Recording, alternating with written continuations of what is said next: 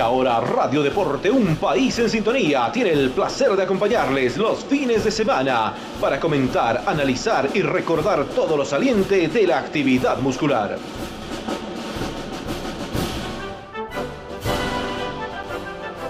Una entrega con el estilo que más gusta y las voces que usted prefiere, donde queremos que sea el verdadero protagonista participando en nuestras emisiones con su opinión.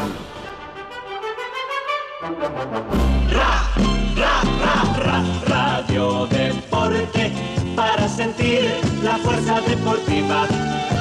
40 emisoras nos echaba ría la mayor cadena deportiva. Todo el equipo de Radio Deporte con Grover, Fernando, Javier, Roberto, Mario, Sergio y Germán pretenden tenerlos bien informados. Mauricio Echavarría, locutor comercial del programa, los invita a disfrutar de esta entrega. Ya están con ustedes los conductores de Radio Deporte.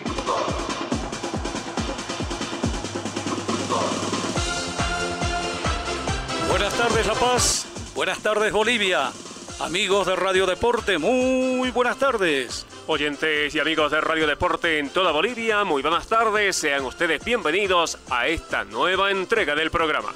Muy buenas tardes Bolivia, la bienvenida a una nueva entrega de Radio Deporte. Amigos de toda Bolivia, tengan ustedes muy buenas tardes. Señoras, señores, amigos, amigas del fútbol en Bolivia, buenas tardes para todos. Todo el equipo de Radio Deportes nuevamente reunido en este programa virtual para informar, analizar y comentar diferentes temas relacionados con la actividad futbolística y de otras actividades también en nuestro medio. Hoy vamos a ocuparnos lógicamente de la selección, eso que llaman el equipo de todos y está comprobado que no es así, que queda simplemente ese enunciado en una frase. Hablaremos, claro, de la posible solución del conflicto federativo con la intervención del Viceministerio de Deporte. Tendremos novedades sobre las eliminatorias y cómo se preparan las elecciones que van a enfrentar a Bolivia. A prestos de The Strongest y Always Ready será otro tema importante, pensando en la apertura ya de las posibilidades de volver al campeonato local. Estarán los goles del recuerdo, trasladándonos a una jornada sudamericana muy importante. Tendremos temas internacionales como los récords de Messi, la consagración de un gran jugador como Lewandowski y muchos otros importantes mensajes. Hablaremos también con nuestros oyentes intercambiando y conociendo su opinión. Lo que hace Brasil nos interesa porque es el próximo adversario de nuestra selección. Como ven ustedes, son importantes todos los temas que pretendemos tocar en estos 120 minutos que les ofrecemos a partir de este momento. El sabor de siempre ahora puedes elegirlo sin azúcar. Una nueva Coca-Quina se une a la familia. Coca-Quina Libre. Está riquísima, libre de azúcar, libre de calorías y es de la cascada, orgullosamente boliviana. Luego de ese primer mensaje de nuestra voz comercial Mauricio Echavarría, ya nos metemos en el tema más importante. Hablar de la selección, hablar de todo lo relacionado a lo que nos espera en lo que viene por delante, recordando que estamos a pocos días. El próximo viernes ya tendremos el partido de Bolivia frente a Brasil. Vamos a todas las novedades que nos ha preparado Beto Acosta. Hablemos de la selección porque comenzó octubre y a menos de una semana del debut de Bolivia ante Brasil, los problemas de la federación han calado hondo en el corazón de la selección. En la semana les contamos que tres futbolistas de Oriente se fueron del hotel de concentración. Los clubes del G6 retiraron el apoyo a la verde. En una larga conferencia de prensa que rondó las dos horas y media, César Farías confirmó que armará dos equipos, uno para jugar frente a Brasil y otro para recibir a la Argentina en La Paz. En el partido en la sede de gobierno serán tomados en cuenta los legionarios Boris Céspedes y Alejandro Chumacero, que pudieron llegar antes, mientras que Marcelo Martins y Jaume Cuellar, que llegarán sobre la hora, pueden ser usados en Brasil. Pero eso lo definirá en estos días el entrenador. El DT mostró su convencimiento de que en este tiempo el trabajo ha sido muy útil y se verá reflejado a lo largo de la eliminatoria. Escuchemos al DT en sus conclusiones tras la exposición que duró cerca de una hora. Circunstancias, eh, tenemos que decir, bueno, con todos los problemas que tiene Bolivia, que todo el mundo normalmente dice que es la más desorganizada, hoy podemos decir que Bolivia para esta doble fecha tal vez fue la más organizada, con argumentos, con parámetros, con dedicación y con mucha voluntad. Pudimos realizar prácticas en Santa Cruz de la Paz y las, las prestaciones físicas que observamos y comparamos con los datos y requerimientos del juego fueron muy buenas y de crecimiento constante. Las mediciones físicas le permiten ver el avance en las condiciones y saber que pueden tener estas fortalezas para enfrentar a los rivales. También tengo que decirle que hay una frescura, una frescura en el plantel increíble, eh, de que no parece que tuviésemos esos 47 días juntos.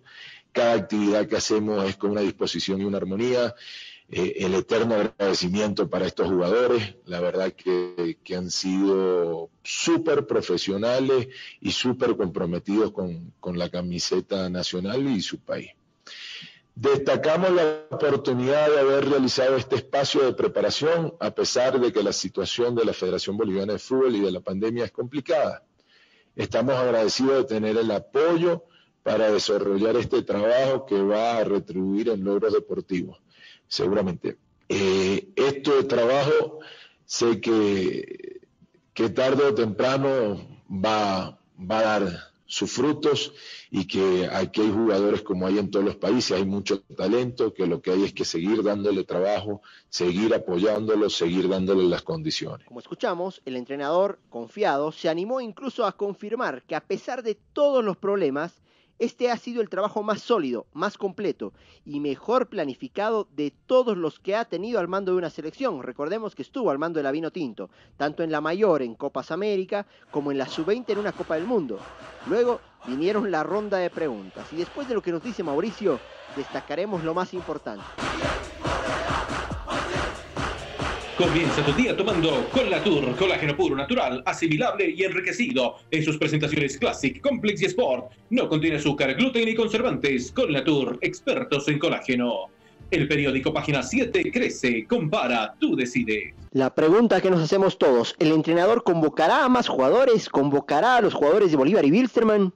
Los dos equipos que han tenido rodaje y quizás dos de los planteles mejores conformados en el país, pero que son parte del G6. Esta fue la respuesta de Farías. Ya tengo la carta firmada por el presidente Grover Vargas, además de algunas declaraciones en las cuales él y, su vicepresidente no van a prestarle a los jugadores. Entonces, yo, como le dije, yo eh, no voy a, causar problemas, no voy a entrar en una diatriba con más nadie. Ya lo que pasó con Oriente Petrolero, como dicen en Santa Cruz, ya está de buen tamaño.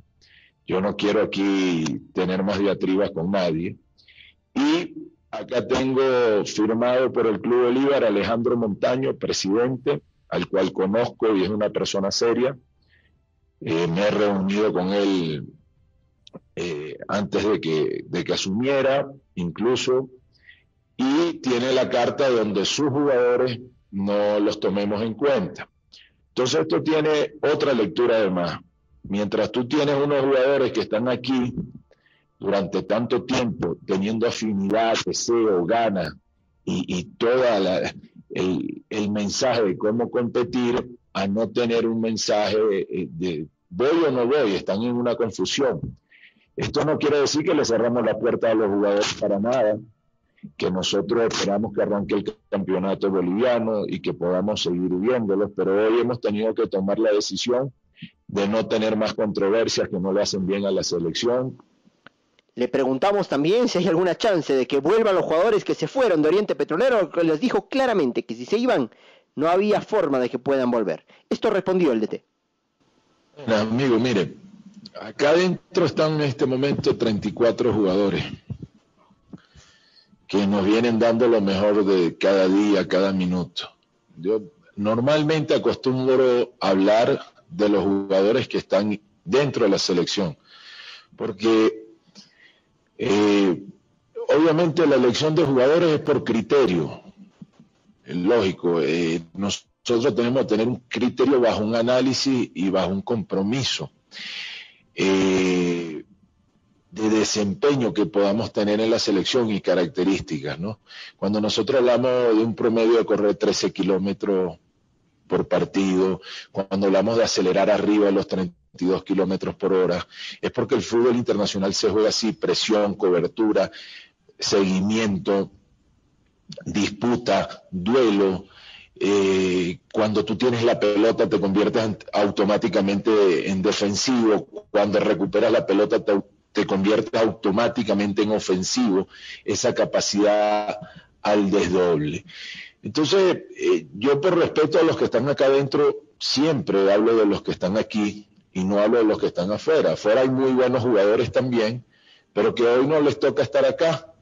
Y yo sí, sí soy lo que he pensado. Usted puede buscar desde el primer día que manejo selecciones, que a la selección no se le debe decir que no. Es un lema muy personal, pero yo soy respetuoso de la diferencia.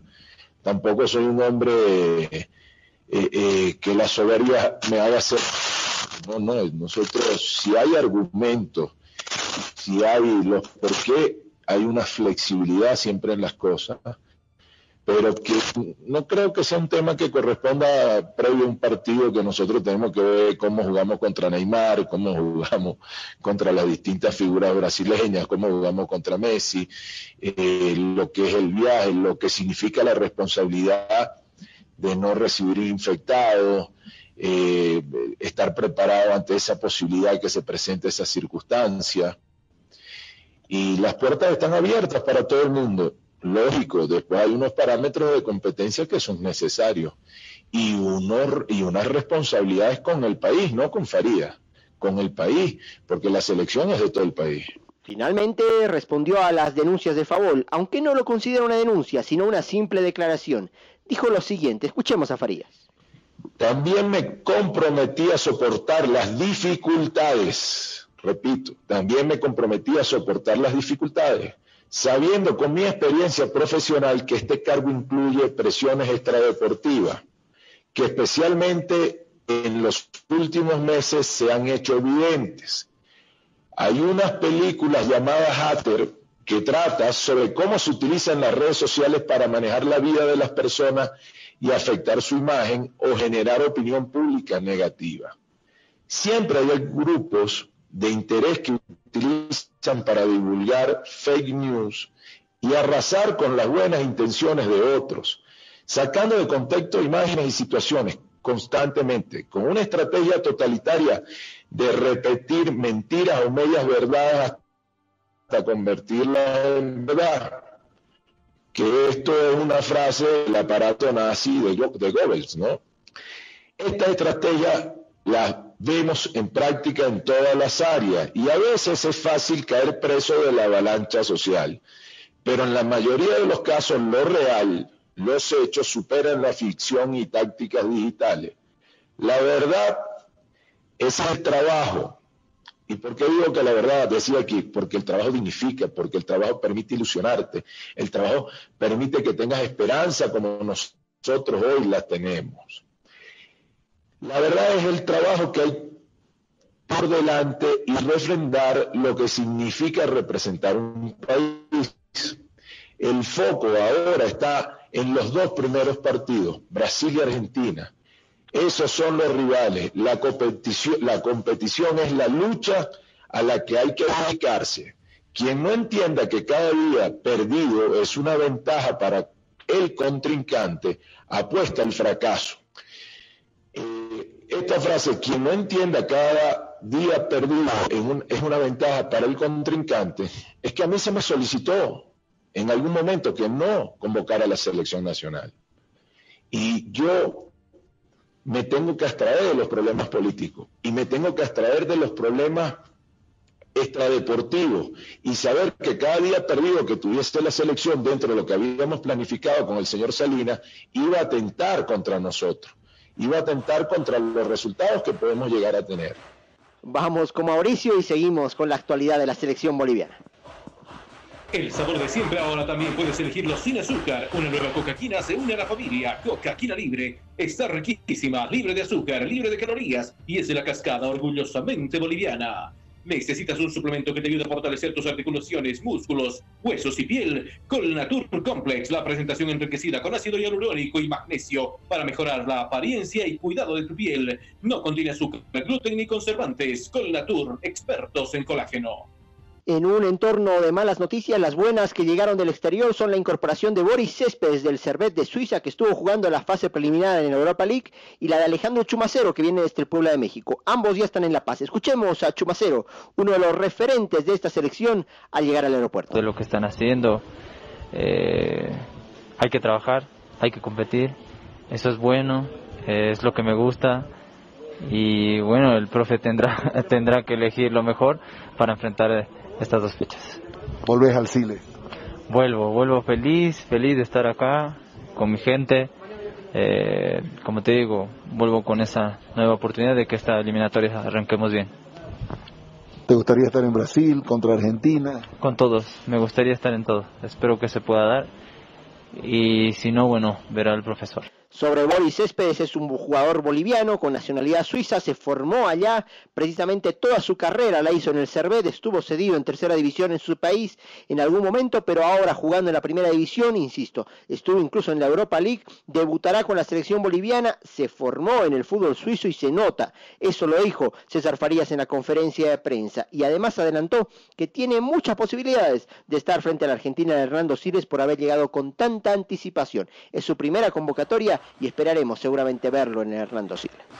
El periódico Página 7 crece, compara, tú decides. El sabor de siempre ahora también puedes elegirlo sin azúcar. Una nueva cocaquina se une a la familia. Cocaquina libre, está riquísima, libre de azúcar, libre de calorías y es de la cascada orgullosamente boliviana. Finalmente, y para cerrar el informe de la selección, escuchemos el mensaje de reflexión del entrenador que al finalizar la conferencia de prensa dejó un mensaje de la dura crisis que atraviesa el ente federativo que hablar. Eh, esperemos brindarle satisfacciones al pueblo boliviano. Eh, las puertas de la selección están abiertas para todo el mundo. Esperemos que los problemas dirigenciales se lleguen a solucionar. Eh, esto sí se lo dejo como punto y aparte, viendo el panorama desde afuera y viendo lo que ha pasado en otros países. hay un desconocimiento hacia los reglamentos, y Bolivia hoy está en la cuerda floja de una suspensión. Y sería muy triste no solamente para Bolivia, sino para toda Comebol. Eh, yo invito a los dirigentes que se puedan sentar, ver, ver bien los estatutos, no desde una situación leguleya confrontal, desde donde uno puede ganar sacando una partida eh, eh, que me favorezca, sino como país, porque la intervención de FIFA no está lejana a todo lo que está sucediendo. A los amigos del gobierno, eh, que Bolivia está próximo a unas elecciones, sepan también que una mala decisión de injerencia del gobierno dentro del fútbol puede dejar sin fútbol a uno de los 10 miembros de Comebol. Y eso sería trágico. Sería trágico porque no pudiéramos estar en eliminatoria, campeonato sub-20, preolímpico, sub-17, sub-15, fútbol de playa, fútbol de mujeres, Copa Libertadores, Copa Suramericana. Yo no, con esto no me pongo de un lado o de otro, no le doy la razón a nadie porque no me corresponde. Pero sí, con, preocupación le digo que eso pudiese ser un punto delicado en el cual se viese perjudicado todo un país. Sucede que el viceministro de Deportes, Augusto Chávez, intenta mediar en la crisis y se reunirá de manera separada con todas las partes, Marco Rodríguez, Robert Blanco, Favol, e intentará encontrar una salida. El viceministro aseguró que de no encontrar posturas de conciliación, tomará acciones legales en el tema. Esperaremos novedades. La ley del deporte ampara lo que está haciendo la autoridad pero FIFA y Comebol a esto no lo ven con buenos ojos. Seguramente será una semana muy movida. Ojalá podamos terminar hablando de fútbol con nuestra selección. El sabor de siempre ahora también puedes elegirlo sin azúcar. Una nueva cocaquina se une a la familia. Cocaquina libre está riquísima, libre de azúcar, libre de calorías y es de la cascada orgullosamente boliviana. Comienza tu día tomando Colnatur, colágeno puro, natural, asimilable y enriquecido en sus presentaciones Classic, Complex y Sport. No contiene azúcar, gluten ni conservantes. Colnatur, expertos en colágeno. El próximo martes precisamente va a hacerse esa reunión, realidades, esa convocatoria del viceministro a las dos partes en pugna dentro del marco federativo. Y ojalá ahí se encuentre realmente el camino al diálogo, que es lo que está faltando en el fútbol boliviano y este término lo hemos repetido a lo largo de los últimos programas con frecuencia, porque todos parecen poner piedras, escollos en el camino para solucionar un problema que confrontamos todos porque a todos nos afecta. Cuando se trata de la selección, indiscutiblemente es un tema del aficionado en general, de los medios periodísticos, de todos quienes estamos directa o indirectamente relacionados con el quehacer deportivo en nuestro país. Ojalá haya acuerdo vayan con cordura, no con planes personales, sino en busca de soluciones, Javier, porque es la única forma de encontrar realmente la medida adecuada para que esto termine ya. Si uno recuerda, en las semanas anteriores nosotros habíamos destacado el hecho que los problemas internacionales que afectaban a la mayoría de las elecciones sudamericanas prácticamente no tenían un efecto en la nuestra, habida cuenta de la escasa participación de jugadores bolivianos en ligas como Estados Unidos o las del viejo continente. Sin embargo, queda demostrado que en nuestro medio no importa mucho si los problemas vienen de afuera. Si no los tenemos, nuestra dirigencia es perfectamente capaz de generarlos. La verdad es que cuando parecía que habíamos tocado fondo y solo quedaba ir hacia arriba, contrario a toda lógica empezamos a cavar, es decir, para bajar aún más. Esto nos describe la situación que enfrenta la selección y que se constituye en un preocupante diagnóstico de una coyuntura que parecía podría favorecer el trabajo de la Verde, porque lo estaba realizando de una manera normal, con el tiempo que otras selecciones no había tenido pero que ahora se ve damnificada por una pugna de poder que no parece tener final y que contrariamente a lo que uno podía suponer, en lugar de encontrar puntos de coincidencia, va sumando diferencias y adicionalmente va ahondando las diferencias ya existentes.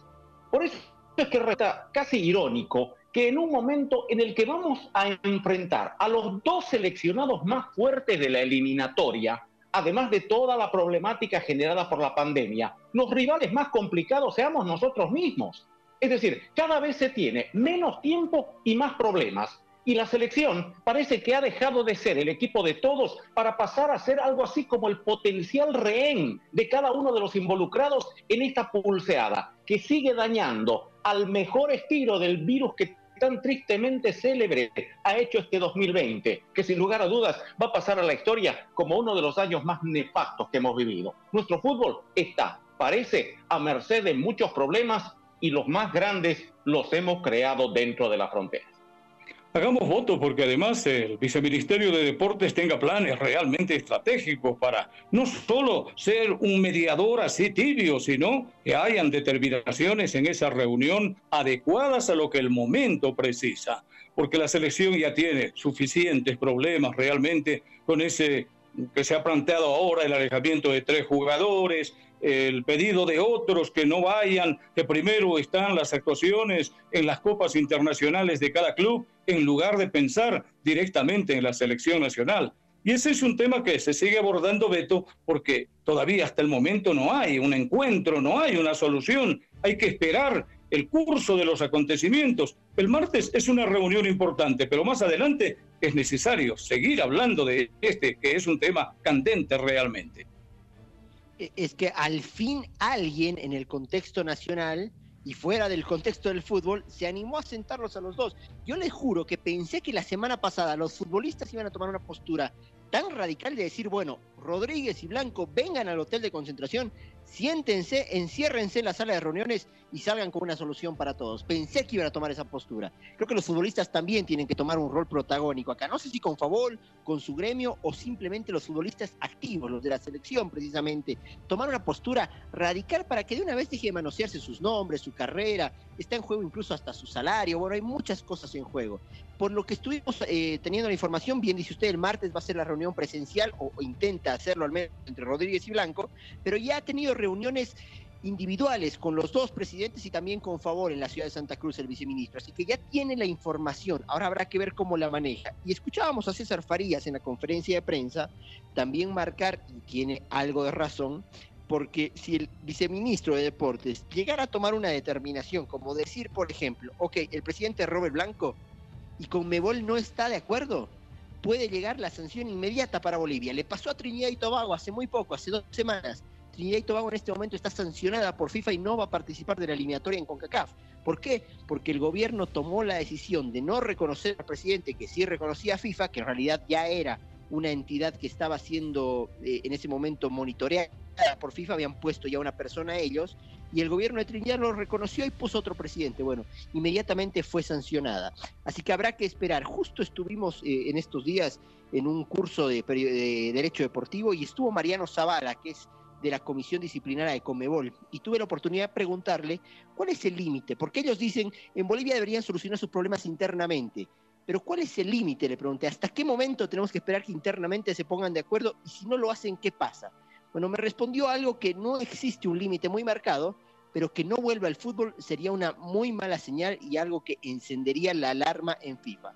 Así que el día martes no solamente esta reunión de Rodríguez y Blanco va a ser importante, sino también el supuesto Consejo Superior, donde tienen que estar los 14 clubes. Si deciden que vuelve el fútbol, seguramente habrá más esperanza de que todo vuelva en orden. Pero si deciden que no vuelve el fútbol, habrá que parar las orejas, porque FIFA y Comebol van a tomar cartas en el asunto.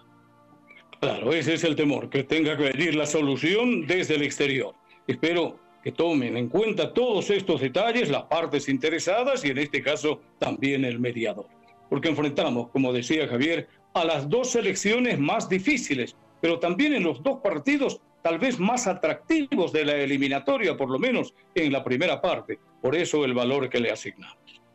Vamos a ir a una breve pausa y después ya estaremos hablando de nuestros rivales, de Brasil, por ejemplo. Tendremos el contacto internacional, pero como un anticipo, el viernes pasado lo vi jugar a Neymar en el PSG y si juega de esa manera, bueno, va a ser un hombre difícil, difícil para la selección y él estará frente a nuestro equipo verde nada menos que el próximo viernes. Vamos a esta breve pausa. Porque tú lo pediste. Ahora tu coca de siempre también llega sin azúcar. Nueva coca libre. Libre de azúcar, libre de calorías. Con el mismo sabor de siempre. coca libre. Nueva coca libre. Sin calorías y sin azúcar, sin culpas. Con la nueva coca-quina, coca libre. Pídela, pruébala ¿Ya te dije que no tiene azúcar ni calorías? Búscala, disfrútala. Todo el sabor de nuestra coca-quina, ahora también sin azúcar. Nueva coca-quina libre. Es de la cascada, orgullosamente boliviana. Coca-quina libre. Es nuestra. Ra, ra, ra, ra, radio deporte para sentir la fuerza deportiva 40 emisoras echaba la mayor cadena deportiva. Conocemos algo de la preparación del primer rival de Bolivia en las eliminatorias rumbo a Qatar 2022. La selección de Brasil, con la gran mayoría de jugadores legionarios, esperará a la selección boliviana en Sao Paulo luego de algunos cambios de fecha, de horario y también de sede, pues recordemos que inicialmente este partido debía cumplirse en el mes de marzo en la ciudad de Recife y posteriormente había sido fijado para el mes de septiembre en el Estadio Maracaná de Río de Janeiro. Vamos al informe de nuestro corresponsal en Sao Paulo, Milton Cruz. Adelante, Milton. Gracias, Fernando. La selección brasileña comenzará su caminata rumbo al Qatar 2022 a partir de este día domingo, 4 de septiembre. Siguiendo todo el protocolo de bioseguridad de FIFA, la CBF también anunció el cumplimiento de estas normativas al rigor de cinco exámenes en los días de concentración. La Canariña tendrá sus eh, primeros integrantes a la comisión técnica comandado por Tite en Gran Chacomarí, Teresópolis, Río de Janeiro. En la previsión de la Confederación Brasileña de Fútbol, hasta martes día 6, integrarán todo el grupo de 23 jugadores convocados para los partidos ante Bolivia y Perú respectivamente. Visando el estreno en las eliminatorias de Copa del Mundo FIFA Qatar 2022 ante Bolivia el día 9 de octubre en Sao Paulo, en el Estadio Neoquímica de Corintias a partir de las 20 horas con 30 minutos, hora de Bolivia. El pentacampeón del mundo tendrá tres días de preparación a partir de este día lunes en los horarios de la tarde fijados a partir de las 14 horas con 30 minutos hora de Bolivia. Tite y sus comandados partirán rumbo al escenario deportivo ante Bolivia ya este día miércoles 7 por la noche en dirección a San Paulo, donde quedará concentrada hasta horas antes del partido en el Hotel Marriott Guarulhos. Día jueves, 17 con 30 minutos, hará el equipo entrenamiento en Neoquímica Arena, palco del partido del día siguiente contra la selección boliviana, que será dirigido por el señor árbitro de Uruguay, Leodán González, auxiliado por sus compatriotas Nicolás Tarán y Richard Trinidad. Informó desde São Paulo, Brasil, Milton Cruz, para Radio Deporte, un país sin sintonía.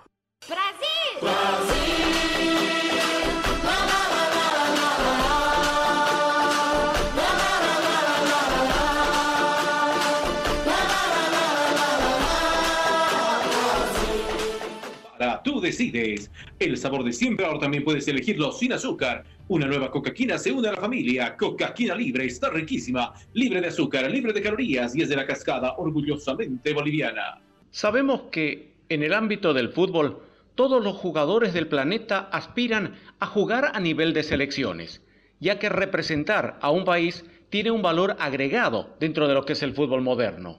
Pero hay algunos que tienen la posibilidad de elegir entre más de una selección. Y ese es el caso de Adama Traoré, una de las actuales figuras de la Premier League que vive una situación especial.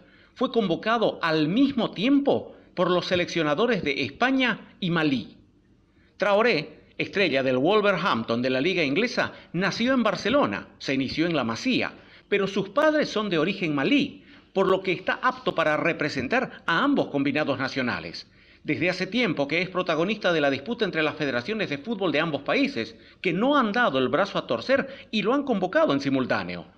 El extremo, de 24 años, que ya había sido convocado por España en dos ocasiones, pero nunca llegó a debutar, y por eso Malí mantiene sus esperanzas, fue incluido otra vez por Luis Enrique, pese a que Mohamed Magazouba también lo había convocado tres días atrás el seleccionador de La Roja hablaba precisamente de la lista de convocados.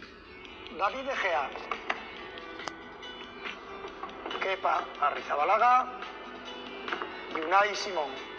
Continuamos con los defensas. Jesús Navas, Dani Carvajal, Sergio Ramos y Pau Torres. Eric García, Diego Llorente, José Gallá. Y Sergio Reguilón. Continuamos con los centrocampistas. Sergio Busquets, Rodri Hernández, Fabián Ruiz, Miquel Merino, Dani Ceballos, Sergio Canales y José Campaña. Y acabamos con los delanteros. Rodrigo Moreno, Miquel Oyarzábal, Gerard Moreno, Ansu Fati, Dani Olmo, Ferran Torres y Adama Traoré. Adama Traoré fue el último de la lista, pero eso simplemente fue cuestión de casualidad. Luis Enrique espera que pueda cumplir esta vez la convocatoria, ya que no pudo tenerlo para los partidos contra Alemania y Ucrania del mes pasado, porque la figura de los Wolves dio positivo de COVID-19. Traoré quien además del Barça jugó en el Aston Villa y en el Middlesbrough, todavía no se ha pronunciado sobre esta doble convocatoria, aunque en España confían con que van a ganar la puja. Lleva años en la Premier League con progresión, es un jugador diferente, es un jugador que tiene un nivel por la banda que no tiene nadie. Tengo muchas ganas de verlo, agregó Luis Enrique. España enfrentará a Portugal el 7 de octubre en un partido amistoso y después tendrá dos compromisos de la UEFA Nation League Suiza y Ucrania, el 10 y el 13 de octubre respectivamente. Por su parte, Malí tiene un amistoso con Ghana el 8 de octubre y posteriormente se medirá ante Namibia dos veces, el 8 y el 16 por la clasificación a la Copa Africana de Naciones. Bueno, habrá que ver en qué partidos, en qué selecciones estará presente el codiciado Adama Traoré.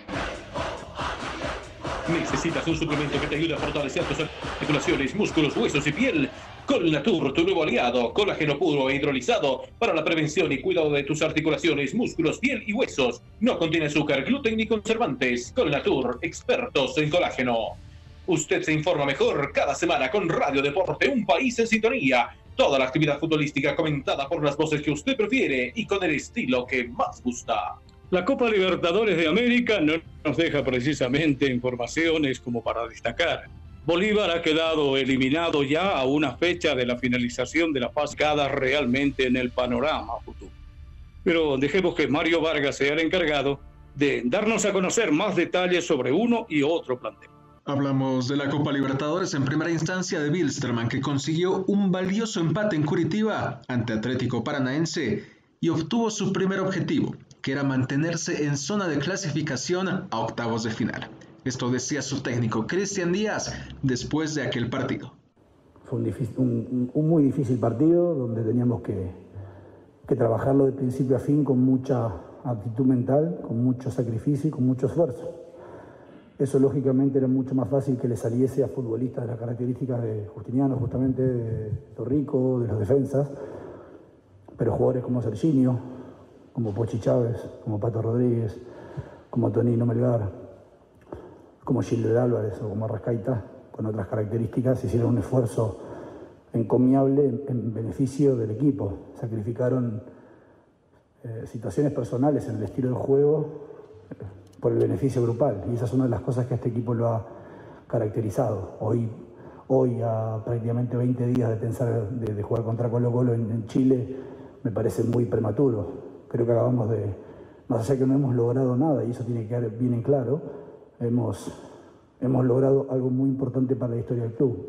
Este partido, insisto, si bien no pudo entrar la de Tony, que fue la más clara que tuvimos, quedará en la historia como una de las veces que Wisterman vino a Brasil a jugar contra un gran equipo en un campo muy complicado como es este, por el, como usted le preguntaba a Justiniano, por el césped artificial al cual no estamos acostumbrados, sin embargo el equipo hizo, hizo un gran partido. También habló Leonel Justiniano, pieza importante del mediocampo aviador.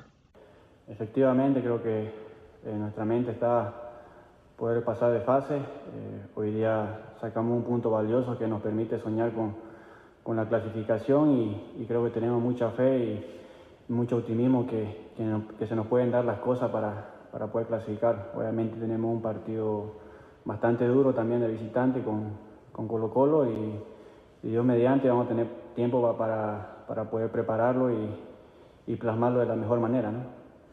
Creo que más, que más que nada creemos en nosotros mismos, en lo que podemos dar y en lo que, y en, y en lo que en realidad eh, queremos. ¿no? Así que somos un equipo compacto en, en, en muchas, muchas líneas y, y, la verdad que estamos con el deseo de poder clasificar y, y poder hacer bien las cosas del siguiente partido donde no va a ser nada fácil, pero bueno, hoy día eh, creo que hemos demostrado también que, que, podemos ser un equipo bien ordenado eh, en todas las partes del partido y, y, vamos a ir a buscar ¿no? la clasificación a, a Chile.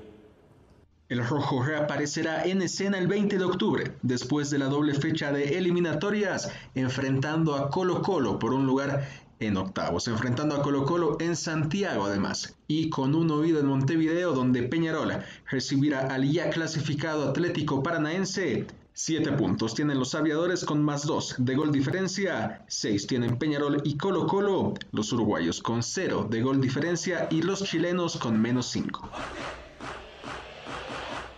Mira lo que tengo conmigo, mi nueva Coca-Quina Libre. No tiene azúcar, no tiene calorías. Y en estos momentos que tenemos que cuidar mucho más nuestra salud, qué mejor que hacerlo que con nuestra Coca-Quina. Ahora también sin azúcar, es de la cascada orgullosamente boliviana. ¿Eres de las personas que les gusta ponerse nuevas metas para mejorar su rendimiento físico? Colnatur Sport, la presentación para deportistas de alto rendimiento, enriquecida con magnesio, zinc, manganeso, vitamina C, B2 y B3. No contiene azúcar, gluten ni conservantes. Colnatur, expertos en colágeno. Toca hablar de Bolívar. El equipo paseño se ha quedado sin chances de acceder a los octavos de final porque un día después de su caída por goleada en Allianz Parque, Guaraní superó a Tigre en Buenos Aires y se sumó a Palmeiras como representante del grupo en la siguiente instancia. Pero escuchemos repercusiones de aquel 5-0 en Sao Paulo. Esto decía el español Álvaro Rey. Bueno, pues a ver, al final yo creo que hay dos partidos en uno. Creo que el primer tiempo que hicimos fue muy muy bueno. Eh, de hecho, te diría que, que es injusto el, resultado al descanso. Creo que, que mínimo podíamos habernos ido con, con, empate. Y bueno, ya el segundo tiempo, pues eh, a raíz de que nos meten el segundo gol, el equipo baja la intensidad, baja la concentración y cuando, cuando bajas de esa forma la concentración y la intensidad con equipos como el Palmeira, pues te caen tres, cuatro goles. A continuación, la palabra de Claudio Vivas, el técnico de la academia. Los cambios que hicimos, eh, dos fueron obligados porque Gutiérrez viajó pero no estaba en condiciones físicas y, Jorge Flores no, no llegaba al partido de la mejor manera en la parte de la lesión que tuvo con Tigre y decidimos poner a Oviedo porque necesitábamos eh, marca en la pelota parada y necesitábamos eh, un tercer integrante de la línea defensiva porque sabíamos que, que Veiga iba a jugar eh, como volante ofensivo, lo, vi, lo hizo en el último partido y decidimos por Oviedo por, por esa situación. Son dos jugadores que tienen una competencia interna muy buena y en el partido anterior decidimos que juegue Machado y en el partido de hoy que, que juegue Oviedo. Pero, pero Oviedo no es el culpable de la derrota. Acá cuando se pierde, se pierde pierde el equipo, pierde, pierde la institución y el que toma las decisiones soy yo, así que yo me hago responsable de la derrota del equipo. No, yo creo que no es un equipo sin alma, eh, en todo caso es un equipo que hizo un buen primer tiempo, que mm, innecesariamente, y es algo en lo cual hay que trabajar desde lo mental, reaccionamos a partir del gol, Mm, a los tres minutos ya perdíamos 1 a 0, igual contra Guaraní en el segundo partido, eh, perdón, en la primera fecha. Y bueno, eh, creo que en el primer tiempo hicimos, hicimos, eh, hicimos lo necesario como para poder empatarlo al partido. Generamos situaciones de gol, erramos un gol abajo del arco, no estuvimos desequilibrados defensivamente. En el segundo tiempo fue otro equipo, el segundo gol nos desestabilizó, y fueron cuatro goles en, menos de seis minutos. La realidad es que, que, en ese aspecto creo que el equipo, eh, cuando uno pierde 5 a 0, no, no valen las excusas. Y, es importante saber que, es un resultado que nos duele mucho, que, no, que nos desvaloriza, pero que estamos muy pendientes del último partido para, para tener aspiraciones a, seguir en la, en la Copa Sudamericana. No, octavo de final está muy difícil porque no solamente dependemos de un resultado de, mañana, sino que también dependemos de una, de una goleada en, la, en, la, altura, eh, en, perdón, en nuestra cancha eh, contra Guaraní, que es posible, que es probable, pero el fútbol no es matemática absoluta. La realidad es que es una goleada que nos duele y nosotros lo que tenemos que pensar es ganar el partido con Guaraní para tener aspiraciones de seguir en, un torneo intercontinental. Después, el partido de mañana indicará para qué estamos, si estamos para pelear la, en la segunda fase de la, eh, en, en la octavo de final de la Copa Libertadores o en la Sudamericana, pero yo creo que hay que pensar en ganar para tener chance de ir a la Sudamericana. Bolívar deberá derrotar a Guaraní en la altura, como decía Vivas, el 21 de octubre para no depender de lo que pase en Sao Paulo entre Palmeiras y Tigre, y de esa manera acceder a la Copa Sudamericana, el premio consuelo para los terceros de cada grupo. El sabor de siempre ahora también puede ser sin azúcar. Una nueva cocaquina se une a la familia. Cocaquina libre está riquísima, libre de azúcar, libre de calorías y es de la cascada orgullosamente boliviana. Cada fin de semana usted tiene una cita con Radio Deporte desde las 16 horas. Comentarios, entrevistas, goles del recuerdo y todo lo que usted espera está aquí para informarse mejor por Radio Limani, La Voz de Bolivia y Radio Estudio 94, también por Red Yungas Coroico. El paréntesis, ni duda cabe, ese paréntesis obligado por la pandemia, les pasó factura realmente a los equipos bolivianos, que aunque preparados no tuvieron tiempo de jugar encuentros y tuvieron que enfrentar a equipos que ya estaban en competencia y que lógicamente sacaran una gran ventaja. Temo que esto suceda y tenga que enfrentar un problema de esta naturaleza también hablando de la selección, porque indiscutiblemente el hecho de que los jugadores de las otras selecciones están en torneos ya competitivos, los nuestros, todos los jugadores, siguen simplemente en el plan de práctica. Pero la evaluación que hay que hacer, lógicamente, de esta Copa Libertadores de América, aún teniendo posibilidades Wilstermann de seguir en la lucha, es negativa, Javier. No podemos conformarnos con un papel como el que se ha cumplido. A Bolívar lo golearon cinco minutos nada más en el encuentro. Eso habla de errores cometidos por el mismo plantel y lógicamente también por la conducción técnica.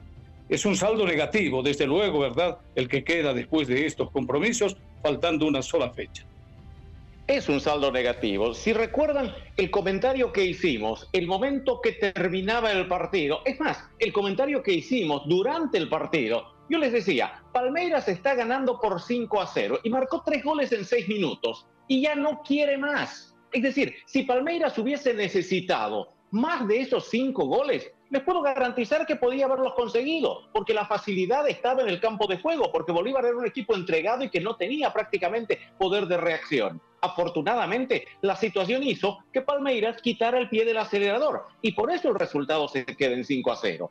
Ahora, Claudio Vivas decía, no, no, valen las excusas. Yo corregiría, si un equipo pierde por cinco tantos contra cero, no hay excusas. Directamente, no entremos en ese plan. Ahora, ya jugado el partido, entre Tigre y Guaraní, con la victoria del conjunto paraguayo, la situación quedó absolutamente clara. Palmeiras y Guaraní están en la siguiente instancia y Bolívar prácticamente tiene un pie y medio en lo que es la Copa Sudamericana, pero no por mérito propio, sino porque el conjunto de Tigre, en última instancia, no ha hecho absolutamente nada durante esta Copa y tiene que enfrentar en el último partido a Palmeiras jugando allá en Sao Paulo, de manera que ese partido difícilmente va a tener un resultado diferente al de la victoria del conjunto brasileño. Por eso es que Bolívar no podemos hablar de que está clasificado a la Copa Sudamericana, porque una clasificación implica un peldaño inmediato superior y lo que hace Bolívar es descender de una categoría a la inmediata inferior en términos de torneos de la Conmebol. De manera que para Bolívar es un premio limón que en última instancia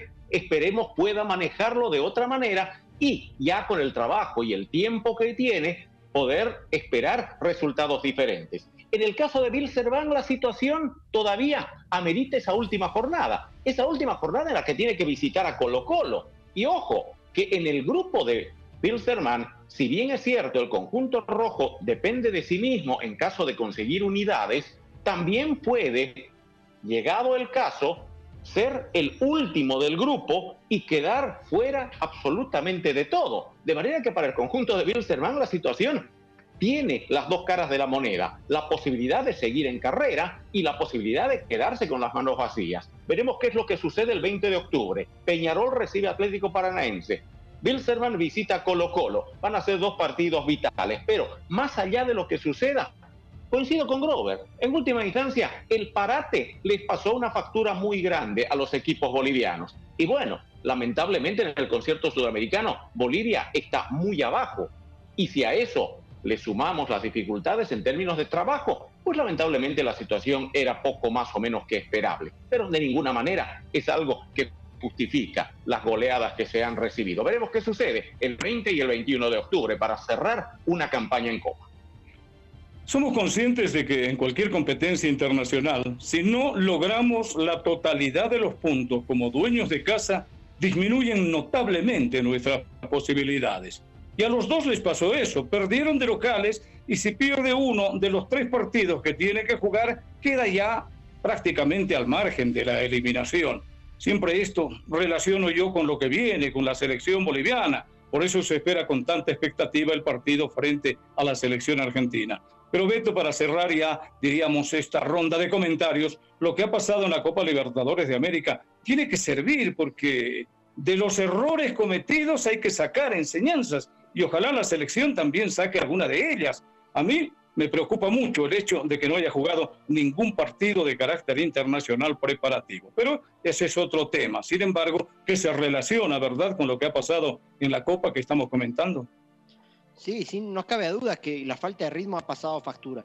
Más allá de eso, creo que Bolívar y Wilstermann han mostrado algunas cosas. En el caso de Bolívar, creo que muy poco para destacar y muchos de los errores que tiene no se los puede atribuir a la falta de ritmo. En el caso de Wilstermann, creo que sí.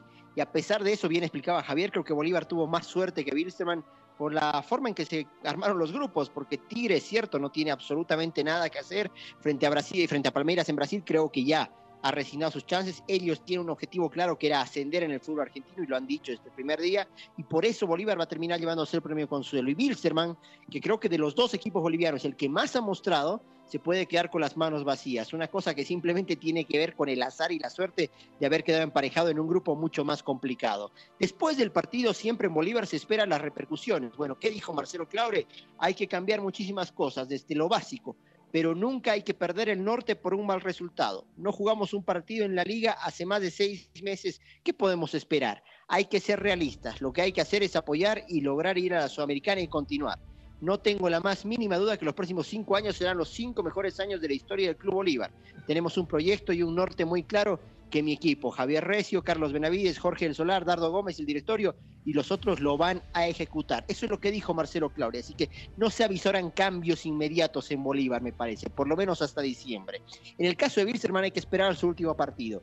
Y en la conferencia de prensa, César Farías, hablando un poco ya de la relación que tuvo con Bolívar y Wilstermann, que decidieron no dar a sus jugadores, bueno, Wilstermann, por ejemplo, aprendió de estos errores y va a jugar dos partidos amistosos, frente a Blooming y frente a Oriente en este receso, porque sabe que esos partidos le van a dar la chance de llegar con rodaje al partido frente a Colo Colo, más allá del riesgo de contagios. Farías explicó que la selección no puede jugar partidos amistosos por tema de protocolos de Conmebol no pueden jugar ningún partido amistoso, así que tendrán que esperar. Sí explicó que tuvieron buenas prácticas de fútbol de 90 minutos con eh, ternas arbitrales incluidas para darle el rodaje que necesitan a los chicos. Habrá que ver cómo reaccionan. Insisto, que no estén Bolívar y Wilstermann en la selección siempre va a ser un golpe duro, pero finalmente fue decisión de la dirigencia y esta dirigencia que por lo visto ha aprendido algo, va a aprovechar el parate de la gente del rojo para ser amistosos y llegar bien. A su último partido que tiene chances frente a Colo Colo y bueno, que también sirva para lo que viene por delante, si es que uno o los dos quedarán clasificados, por ejemplo, para la Copa Sudamericana. Va a ser necesario, indiscutiblemente, que se preparen así, jugando partidos para enfrentar los compromisos que vienen por delante. Mira lo que tengo conmigo, mi nueva Coca-Quina Libre. No tiene azúcar, no tiene calorías. Y en estos momentos que tenemos que cuidar mucho más nuestra salud, qué mejor que hacerlo que con nuestra Coca-Quina. Ahora también sin azúcar, es de la cascada orgullosamente boliviana. Comienza tu día tomando Collatur, colágeno puro, natural, asimilable y enriquecido en sus presentaciones Classic, Complex y Sport. No contiene azúcar, gluten ni conservantes. Collatur, expertos en colágeno. La Copa Conmebol Libertadores ingresó en su fase decisiva y con los partidos disputados esta semana ya suman 11 los equipos clasificados a la siguiente instancia. Resta conocer el nombre de cinco equipos que seguirán en carrera y son nueve los que ya no tienen posibilidad de seguir en esta competencia. Algunos de ellos solo podrán optar por llegar a la Copa Sudamericana. Repasamos los resultados de los distintos grupos de la competencia más importante de clubes a nivel continental. Empezamos con la llave A. Barcelona de visita derrotó al Atlético Junior por dos goles a cero y Flamengo goleó por cuatro goles a cero a Independiente del Valle. Las posiciones muestran al plantel carioca ya clasificado con 12 unidades, Independiente del Valle segundo con 9 puntos, con opciones todavía, Atlético Junior que tiene 6 y Barcelona ya sin posibilidades con 3 unidades. Vamos a ir con el relato de la televisión brasileña para el último gol de Flamengo, Bruno Enrique para el 4 a 0. Não tem impedimento não, hein? Bruno Henrique, Bruno Henrique, para fazer o quarto. Gol!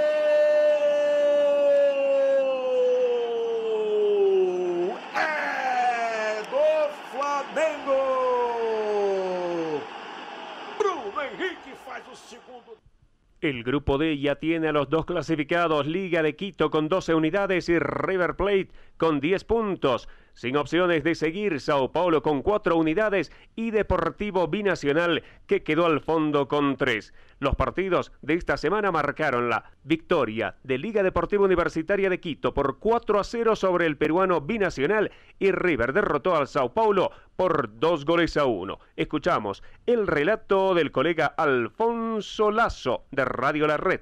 El último gol 4 a 0, marcado por Adolfo Muñoz en el minuto 81. Va jugando atrás, cambia. Lucas Villarruel. La pelota es de Edison Vega. Le entrega Marcos Caicedo. Allá va Marcos, el centro. Adolfo, gol. ¡Gol!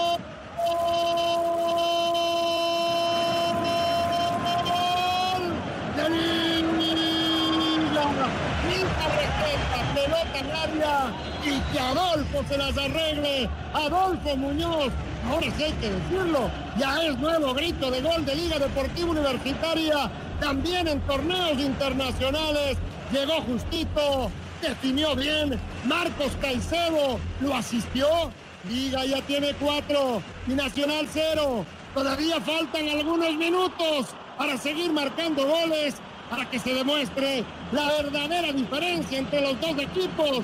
Liga ese equipo ya de octavos de final de la Libertadores golea en su cancha. En el grupo E se vivieron también dos partidos. Gremio en Porto Alegre derrotó a Universidad Católica por dos goles a cero, mientras que América de Cali y el Internacional empataron sin goles. Las posiciones muestran en esta llave al clasificado Gremio con 10 unidades, Internacional muy cerca de la clasificación con 8 puntos, América de Cali con 5 y sin opciones, Universidad Católica con 4 unidades. Escuchamos el relato de los colegas de Radio Globo para el gol de Rodríguez, el 2 a 0 de Gremio. A bola volta. Ainda a gente arrisca lateral com Alisson. Alisson, que meia lua linda. Alisson chegou, cruzou a chance. Rodrigues!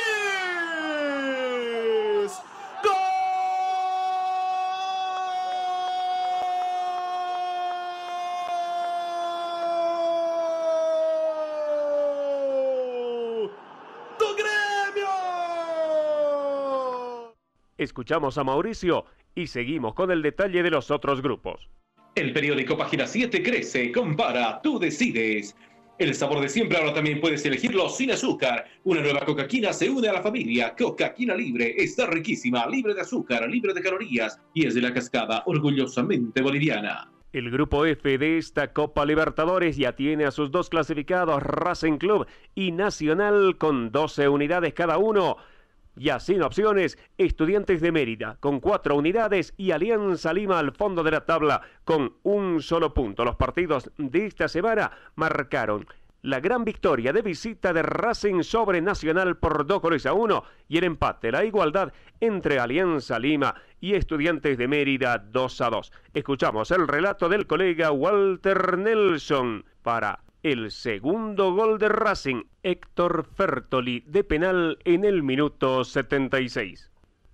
Yo nomás va Fertoli, te dije, acomodó Fertoli. No lo tengo este, ¿eh? 25 minutos, yo tampoco. Rochete en el arco, va por el segundo Racing. No quiere mirar Becasese. Corta carrera de borde del área grande, abre los brazos Rochet. La orden del paraguayo. Llega Fertoli. ¡Gol!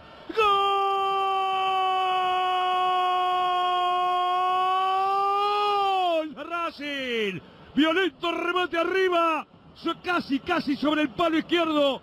El arquero eligió el derecho y la academia en 25, que gana 2 a 1, le rompió el arco Fertoli.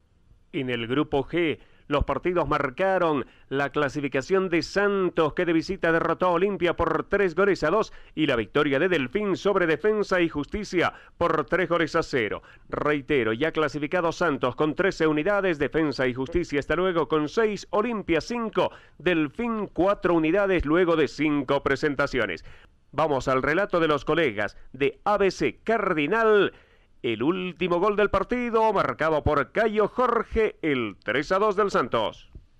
Johnson sigue girando, pisa muy bien, tiene buena técnica. Ahora con Mariño, Mariño, Mariño, Mariño, Mariño, Mariño. Centro que va, le queda sola Soteldo hasta el gol. Engancha.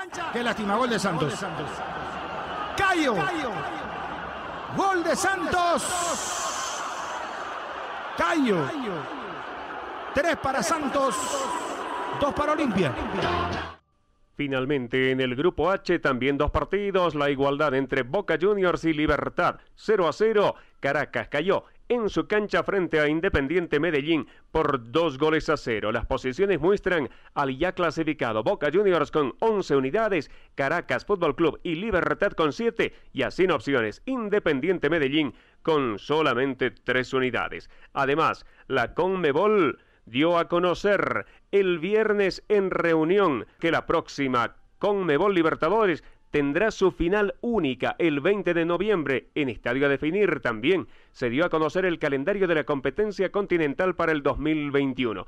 La edición actual se definirá a fines del mes de enero y la sede será en el Maracaná. Sin embargo, Conmebol ya empezó a planificar lo que será la edición 2021 y así lo dio a conocer en sus redes sociales. La fase preliminar dará inicio el 17 de febrero y culminará el 7 de abril, en tanto que la instancia de grupos arrancará el 21 de abril y terminará el 26 de mayo. Lo que todavía no está del todo confirmado es cuándo se desarrollará el sorteo de octavos, pero sí se dio a conocer la fecha de esa instancia que será del 14 al 21 de julio.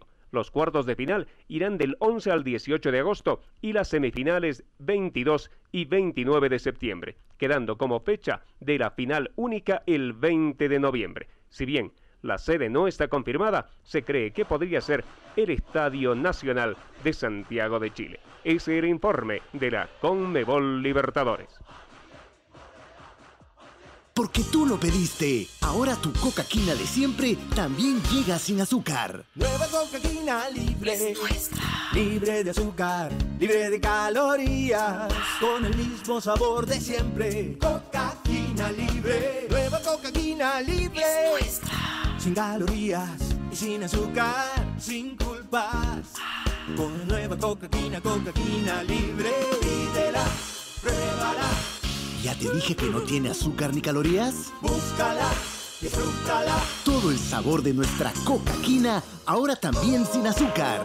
Nueva cocaquina libre. Es de la cascada, orgullosamente boliviana. Cocaquina libre. Es nuestra. Ra, ra, ra, ra, Radio Deporte para sentir la fuerza deportiva. 40 emisoras nos Echavarría, Sector para los goles del recuerdo, los partidos del pasado que nos traen, lógicamente, muy buenas noticias, torneos internacionales donde los equipos bolivianos han destacado, han sumado victorias. Ahora nos referiremos a una que logró el equipo atigrado, aunque no alcanzó a ser en plenitud una fiesta realmente después de la victoria. ¿Verdad, Javier? Gracias, Grover. Volvemos la mirada 15 años atrás y recordamos la Copa Sudamericana del 2005. Díaz Trongues había obtenido la clasificación a la ronda de octavos de final, dejando en el camino a Liga Deportiva Universitaria de Quito, con un marcador global de 5 a 1, conseguido con dos espectaculares victorias, por 2 a 1 y 3 a 0, esta última en territorio ecuatoriano, que fue precisamente recordada en este mismo espacio semanas atrás. Dada la modalidad del torneo de ese año, seis equipos ingresaban directamente a los octavos de final. Tres argentinos, Boca Juniors, River Plate y Vélez Arfield, dos mexicanos, los Pumas de la UNAM y las Águilas del América, y uno de Estados Unidos, el DC United. Díaz Tronques debió enfrentar a los Pumas de la UNAM, que en esa temporada contaba con el boliviano Joaquín Botero en sus filas. Inicialmente se enfrentaron en territorio mexicano, en el Estadio Olímpico del Distrito Federal el día 20 de septiembre, partido que terminó con la victoria local por tres tantos contra uno. Dos semanas después, el 5 de octubre, ambos planteles debían disputar el cotejo revancha en el Estadio Hernando Siles de la ciudad de La Paz. Los atigrados necesitaban ganar mínimamente por dos goles de diferencia para buscar el pase a cuartos de final en tanto que los mexicanos avanzaban incluso en caso de una derrota por un gol. El partido fue dirigido por una terna uruguaya, encabezada por Roberto Silvera, a quien colaboraban Fernando Cabrera y Walter Real. Díaz Trongues, dirigido por Eduardo Villegas, formaba con Carlos Arias, Adrián Cuadrado, Doyle Vaca, Álvaro Ricaldi, Ronald Gutiérrez, Wilder Arevalo, Sandro Coelho, Alejandro Mena, Pedro Rocabado, Líder Paz y Pablo Escobar. Los Pumas de la UNAM, dirigidos por Hugo Sánchez, alineaban a Sergio Bernal, Israel Castro, Joaquín Beltrán, Darío Verón, Israel López, Marco Palacios, Gerardo Galindo, Leandro Augusto, Ailton da Silva, Joaquín Botero y Antonio de Nigris. Díaz Trongues hizo el gasto en el partido, pero no tuvo precisión. Líder Paz abrió el marcador sobre el minuto 34 y con eso abrió la puerta de la esperanza. Pero los Pumas igualaron solamente seis minutos después por medio de Ailton da Silva que aprovechó un error en el despeje de Doilevaca para marcar el empate. A partir de ese momento, el camino para llegar al arco defendido por Sergio Bernal se fue cerrando.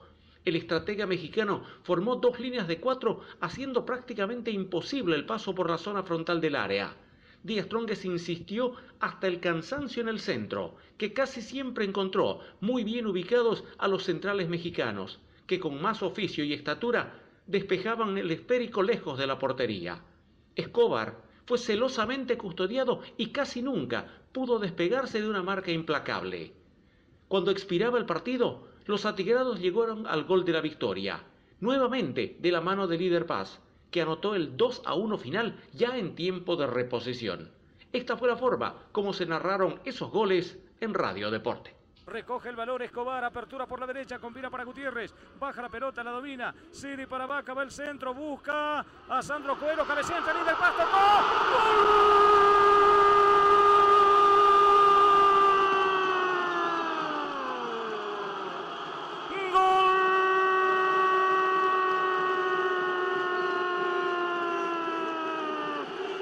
Strong, líder pase en la boca del arco. Toque débil para impedir que Bernal alcance. La jugada que se había generado en el medio terreno tiene culminación. Y en el minuto 34 la primera y valiosa estocada del partido. Líder Paz marcando la apertura de cuenta.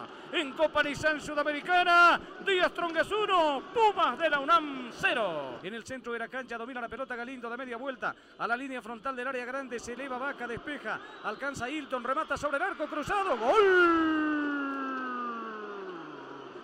¡Gol! De los Pumas. Deficiente despeje de Vaca. Recepción de Ailton da Silva. Que remata abajo. Cruzado el sótano del arco. Y a los 40 minutos y medio establece el tanto de la igualdad. Ailton en el gol de la visita. Díaz Trongues 1. Pumas de la UNAM 1. Pelota por la izquierda. Ahí está frente al esférico Escobar. Levanta el centro. Llega sobre el área grande. Varios que remeten. Cabezazo al arco. ¡Gol!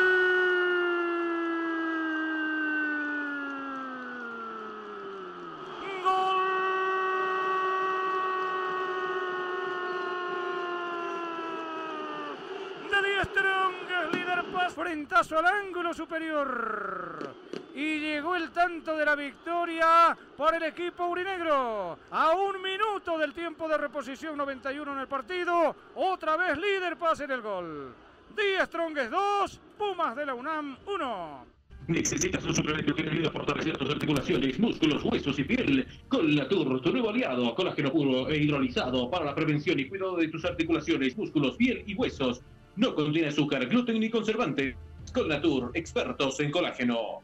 Estamos con el programa semanal de Radio Deporte, Un País en Sintonía, donde resumimos todo el quehacer de la actividad muscular, comentarios, entrevistas, goles del recuerdo y todo lo saliente del más popular de los deportes, por Illimani, La Voz de Bolivia y Radio Estudio en 94.3, 94.0 y 93.7 FM. También por Radio Coroico en 103.1 FM.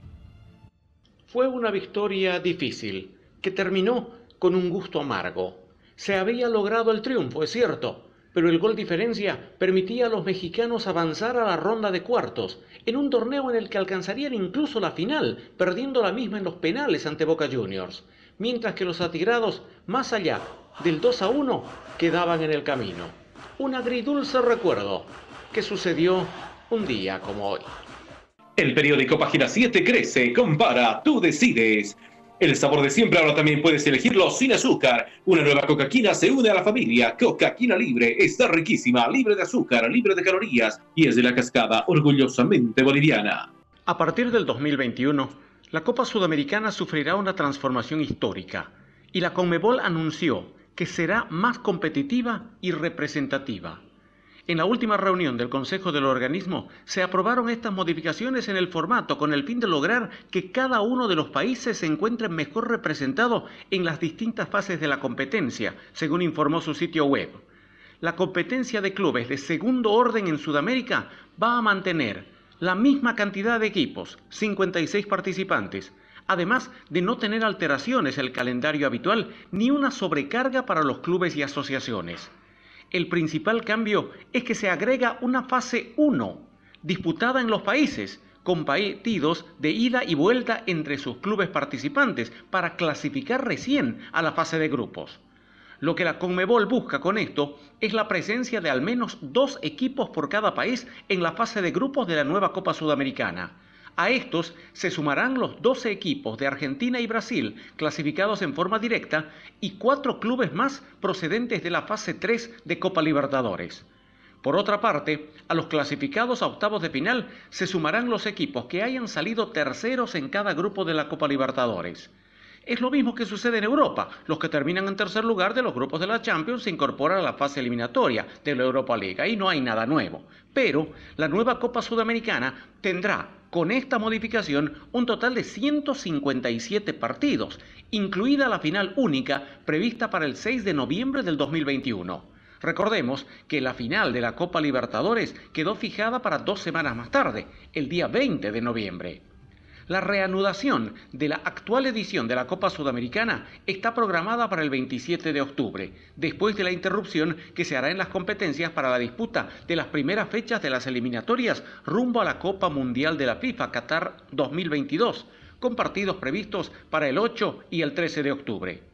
En la reunión virtual del Consejo donde se trató esta modificación, lógicamente también se aprobó el calendario de todas las competencias para el 2021, incluyendo la edición de la Copa América a realizarse en Argentina y Colombia entre el 9 de junio y el 7 de julio del próximo año. Porque tú lo pediste. Ahora tu cocaquina de siempre también llega sin azúcar. Nueva cocaquina libre. Libre de azúcar, libre de calorías. Con el mismo sabor de siempre. Cocaquina libre. Nueva cocaquina libre. Sin calorías y sin azúcar, sin culpas. Con la nueva cocaquina, cocaquina libre. Pídela, pruébala. ¿Ya te dije que no tiene azúcar ni calorías? Búscala, disfrútala. Todo el sabor de nuestra cocaquina, ahora también sin azúcar. Nueva cocaquina libre. Es de la cascada, orgullosamente boliviana. Cocaquina libre. Es nuestra. Ra, ra, ra, ra, Radio Deporte para sentir la fuerza deportiva. 40 emisoras los Echavarría, la mayor cadena deportiva. Sector para conocer la opinión de los oyentes de Radio Deportes. Fernando Echavarría con los mensajes del Facebook. Así es, Grover. Vamos con los mensajes de nuestros oyentes. Eloy Méndez dice que emoción y qué nostalgia recordar ese emocionante partido con un relato que nos hace vibrar aún más. Que se repita la historia. Fuerza Bolívar. José Luis Vaca Hurtado. Es muy lindo recuerdo. Bendiciones, Radio Deportes. Sigan adelante. Saludos desde Cobija Pando. Edman Ábrego, cómo no recordar ese partido si me tocó escucharlo por radio y justamente Radio Deporte. Un abrazo, sigan haciéndonos recordar esos memorables partidos. Un abrazo y excelente trabajo. Miguel Faisal dice, mucha emoción. Marcelo Moscoso, eran otros tiempos, teníamos un muy buen equipo armado con gente que sí sabía de fútbol, don Mauro Cuellar y don Javier Ortuño. Edgar Huaynoca, buen augurio, suerte Bolívar. Bien ahí el cucharón y botero, dijo Oso Robert. Excelente, dice nuestro oyente Guillermo Virués. El periódico Página 7 crece, compara, tú decides. El sabor de siempre ahora también puedes elegirlo sin azúcar. Una nueva cocaquina se une a la familia. Cocaquina libre. Está riquísima, libre de azúcar, libre de calorías y es de la cascada orgullosamente boliviana. Boris Ernesto Flores dice felicidades Radio Deporte, Grover, Javier, Fernando, Mauricio y con la bendición de Remberto Echavarría, un gran equipo, sigan adelante. Me gusta escuchar relatos de Remberto y Grover, inolvidables voces de oro de la locución deportiva del país. Marqueño Vargas, nunca me perdí una transmisión de partidos ya sea de la Liga Boliviana, Copa Libertadores y Sudamericana o eliminatorias. Que Dios siempre los bendiga y cuide. Un fuerte abrazo desde Oruro. Ronald Loza, qué hermoso volveros a escuchar. Gracias, dice nuestro oyente. José Yanapa. Me gusta Radio Deporte, un país en sintonía. Escucho desde que tengo uso de razón. Felicitarles por el buen programa deportivo que tienen. Sigan adelante con ese hermoso programa.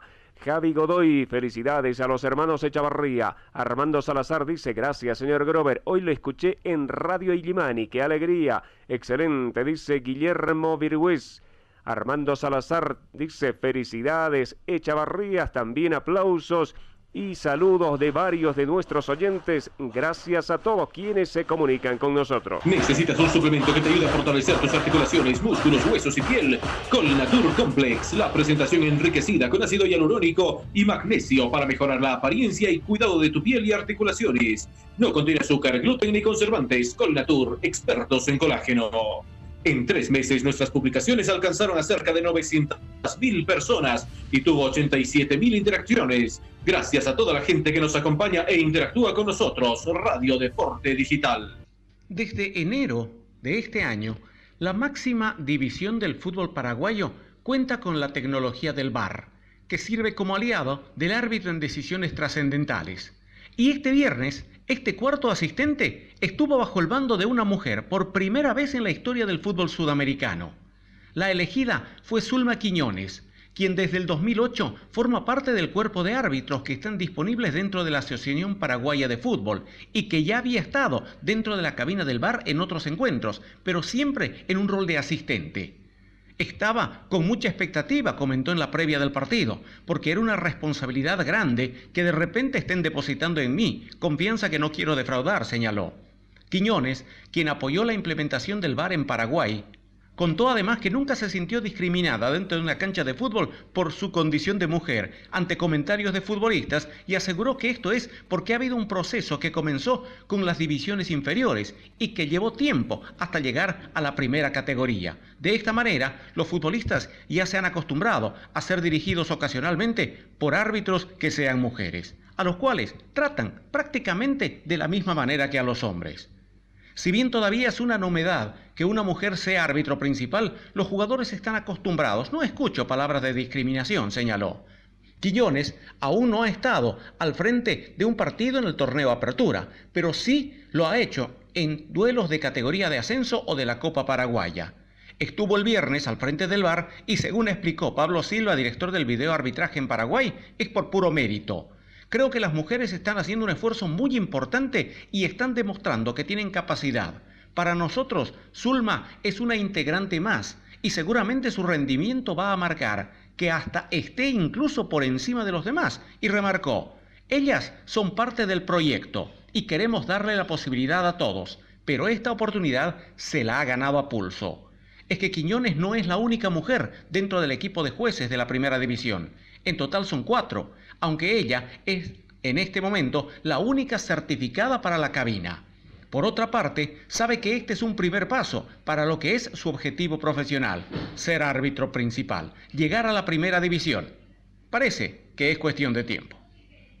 El sabor de siempre ahora también puedes elegirlo sin azúcar. Una nueva cocaquina se une a la familia. Cocaquina libre, está riquísima, libre de azúcar, libre de calorías y es de la cascada, orgullosamente boliviana. Comienza tu día tomando Colnatur, colágeno puro, natural, asimilable y enriquecido en sus presentaciones Classic, Complex y Sport. No contiene azúcar, gluten ni conservantes. Colnatur, expertos en colágeno. La actualidad del cuadro gualdinegro, que día a día viene intensificando sus labores en territorio de Achumani, el equipo que viene preparándose para la reanudación del torneo y manteniendo dicha postura, que el torneo se reanude a la brevedad posible y que el campeón se defina en cancha, teniendo al Aurinegro como puntero compartiendo ese sector con Always Ready, ambos con 21 unidades y son escoltados por cuatro clubes, Bolívar, Blooming, Bilzerman y Royal Party, que tienen 20. Teniendo la mentalidad puesta en dicho reinicio, el profesor Leandro Vilarino nos habla de qué trabajo se viene realizando en esta nueva semana. Muy bien, muy bien, por suerte, iniciando una nueva semana de trabajo. La verdad que la semana que pasó ha sido muy buena, muy positiva en todos los aspectos. Hemos eh, reincorporado a los jugadores extranjeros, solamente nos, nos queda eh, y se ha podido, como bien vos decís, trabajar en doble y hasta triple turno con algunos chicos eh, para empezar a, nivelar las cargas de trabajo y, poder tener un grupo un poco más homogéneo. Bien, la verdad que el compromiso de los chicos es muy bueno, 100% metidos en, en querer que volver lo más pronto a, a, la competición y a su, y a su buen estado de, de forma que ellos tenían antes de, de, este receso, para retomar nuevamente la, la senda de los triunfos en la, en la cual se terminó la competencia. Así que los chicos están muy focalizados en eso, eh, con ganas de que, que bueno, como, bien te mencioné, que vuelva al fútbol, que vuelva a rodar la pelota, por lo pronto entrenando, eh, haciendo hincapié en, todo lo que son los trabajos de fuerza, en las cargas metabólicas, integrando la parte física a la parte técnico-táctica, trabajando en forma eh, sinérgica junto al cuerpo técnico para que se puedan cumplir los, los objetivos que estamos bien encaminados para que eso sea así. Sí, tuvimos la posibilidad de incorporar gracias a la empresa K-Sport, eh, una empresa de tecnología deportiva de punta, eh, dispositivos GPS para el, el, monitoreo de la carga de entrenamiento y así ir viendo eh, en forma sistemática qué es lo que está faltando eh, tanto a las propuestas de entrenamiento como a la prestación de los, de los jugadores en, en campo. Así que hemos implementado los dispositivos ya de la semana pasada, los datos que nos va arrojando son muy buenos en función de lo que nosotros vamos buscando de cada entrenamiento y como vos bien mencionabas hace un rato, tuvimos la posibilidad durante estas dos semanas que, que fueron pasando de evaluar fuerza, potencia, resistencia, velocidad, bastantes eh, evaluaciones que se fueron integrando dentro de, de, los entrenamientos mismos y bueno, los datos han sido muy positivos para a partir de ahí empezar a construir y tratar de sacarle el máximo provecho a cada uno de nuestros deportistas. También el trabajo para los guardametas se intensifica y de eso nos habla Daniel Vaca, el capitán de los aurinegros, que está listo para volver a las canchas según el guardameta. Que muy bien, eh, por ahí los resultados eh, de estas pruebas que hemos tenido, de estos entrenamientos, han dado una nota positiva para lo que pretende el preparador físico primeramente y obviamente ya entrando a lo que es lo, lo táctico los técnicos con trabajos específicos de arquero hemos reactivado de buena manera, enfocado en lo que tenemos que hacer. Eh, si hay o no hay campeonato, nosotros tenemos que estar listos, preparados para lo que venga, entonces simplemente saber que, que vamos trabajando muy bien. Seguro, y eso es eh, una nota alta para todos los, los compañeros, para el cuerpo técnico, para la dirigencia que que vamos tirando para el mismo lado, que lo más importante es estar listos, preparados para lo que venga. Obviamente, como nosotros siempre lo hemos dicho, nosotros queremos jugar, queremos eh, mantener el trabajo que realizamos a comienzo de año, antes de la pandemia, de, de gran esfuerzo para tomar la punta de la tabla y eso obviamente el compromiso de cada compañero está, como te digo, todos los días los entrenamientos, los los trabajos que, que, se nos han dado durante la pandemia y hoy plasmarlo en las pruebas acá creo que eh, son de nota muy alta y vamos por buen camino. También en esta nueva semana el Tigre no baja la guardia para lo que es el coronavirus. Por tercera vez desde que se reanudó los entrenamientos, el primer plantel y cuerpo técnico fueron sometidos a pruebas de control para COVID-19, cumpliendo de esta forma todos los protocolos de bioseguridad aprobados por el Gobierno Nacional. Los resultados de los estudios efectuados la mañana del pasado jueves afortunadamente dieron negativos en todos los casos. También vamos a escuchar a Jaime Villamil, uno de los últimos jugadores que hablaba con la gente de prensa del club, que amablemente nos hace llegar estos audios. Uno de los últimos jugadores que llegó como refuerzo al club. A ver, escuchemos al jugador. Estamos trabajando bien, eh, se viene trabajando bien en la parte física, en la parte técnica, en la parte táctica también, eh, tratando de implementar el sistema y el modelo de juego que quiere el profe Llanes, así que cada vez nos sentimos mejor, adaptados ya también al, a lo que pide el cuerpo técnico. Bien, bien, eh, creo que uno siempre tiene que estar predispuesto a lo que pide el cuerpo técnico casi siempre me he desempeñado en esas dos, en esas dos posiciones dentro del campo de juego, que es la de central y de lateral izquierdo. Así que no es nada nuevo. Eh, seguramente se viene, vamos a seguir trabajando para poder tener esa oportunidad ¿no? de, de estar en el equipo, de, de, poder tener la oportunidad de, de debutar eh, con esta camiseta. Sí, sí, vamos por pasos. Creo que la primer, el primer objetivo personal que se tiene es debutar, ganarse un puesto, ganarse la confianza del cuerpo técnico. Eh, y así poder también, el, próximo objetivo que sería aportar, ¿no? Que en lo que se pueda, con lo máximo que uno pueda con, al equipo. Así que es lo que uno está buscando, el, debutar, el ganarse un puesto, ganarse la confianza y así demostrarle ¿no? a la hinchada de lo que, para lo que uno ha venido. Bien, bien, creo que el profe Leandro es una persona muy capacitada, profesional excelente, creo que eh, como vos dices, eh, los parámetros de, poder medir, de poder ver cómo uno va evolucionando en el, en el, en el cuerpo, va evolucionando en la fuerza. Sí, es, es lindo y es también satisfactorio ver que uno va progresando con el trabajo que se viene haciendo. Creo que lo mejor es, como vos dices, el medir con la tecnología para poder eh, superarse cada día ese todo el trabajo de Die Strong que viene realizando en esta tercera semana de entrenamiento en territorio de Achumani, ya esperando el momento, la hora para que todo reinicie y el fútbol pueda volver a la normalidad. El periódico Página 7 crece, compara, tú decides. El sabor de siempre ahora también puedes elegirlo sin azúcar. Una nueva Coca-Quina se une a la familia. Coca-Quina libre está riquísima, libre de azúcar, libre calorías es de la cascada orgullosamente boliviana.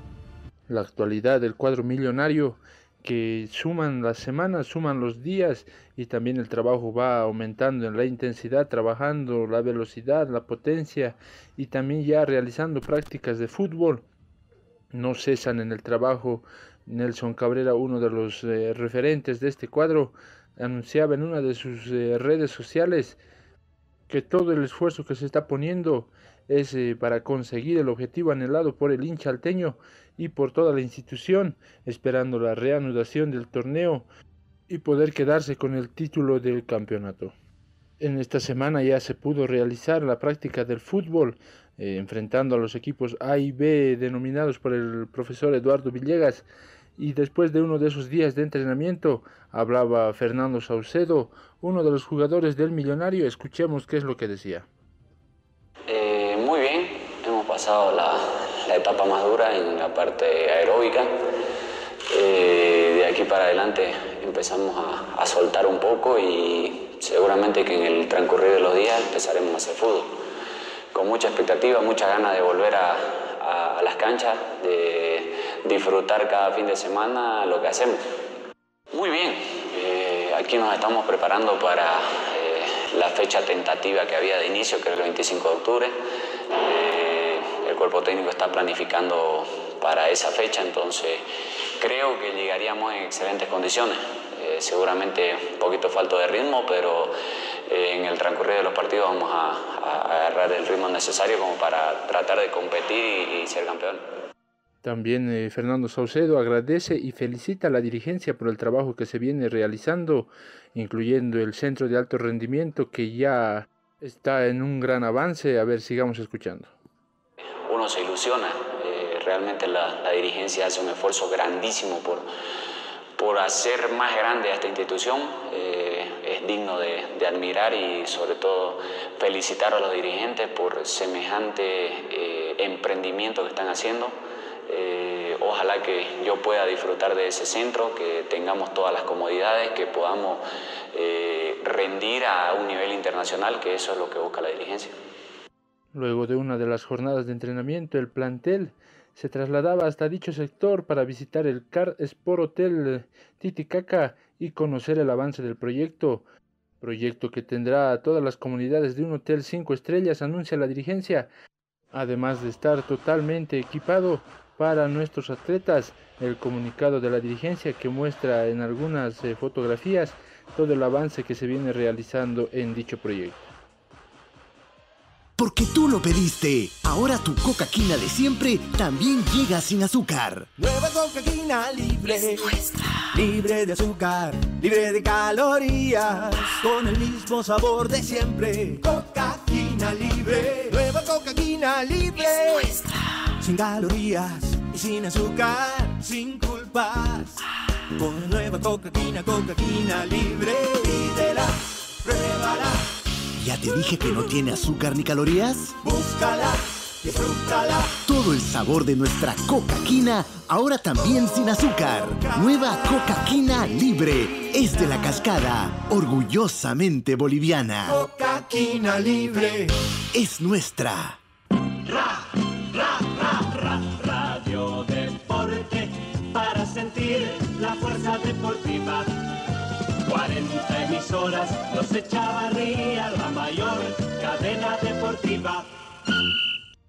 Hace un par de semanas, el tema de Lionel Messi acaparaba las portadas de los medios de comunicación en el mundo entero.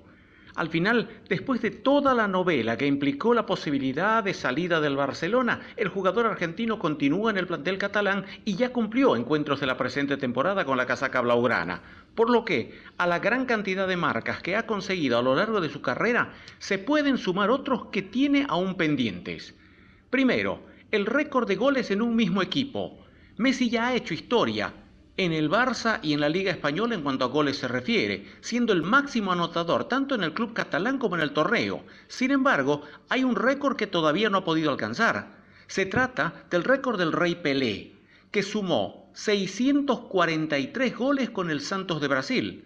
De momento, Leonel Messi cuenta con 633, colocándose a solo 10 de igualar al brasileño, y sería una marca que podría conseguir esta temporada. Segundo, jugador con más partidos en el Barcelona. El actual capitán de los culés suma 762 encuentros con el conjunto catalán y está a solo 6 de superar a Xavi Hernández, quien ostenta la marca con 767 duelos. Solamente con los partidos de la liga, Leonel Messi se llevaría esta marca al bolsillo en la presente temporada. Tercero, más temporadas consecutivas en el Barcelona. Xavi Hernández y Rexach se adjudican este récord dentro del Barcelona, una marca que también podría igualar Leonel Messi en esta temporada.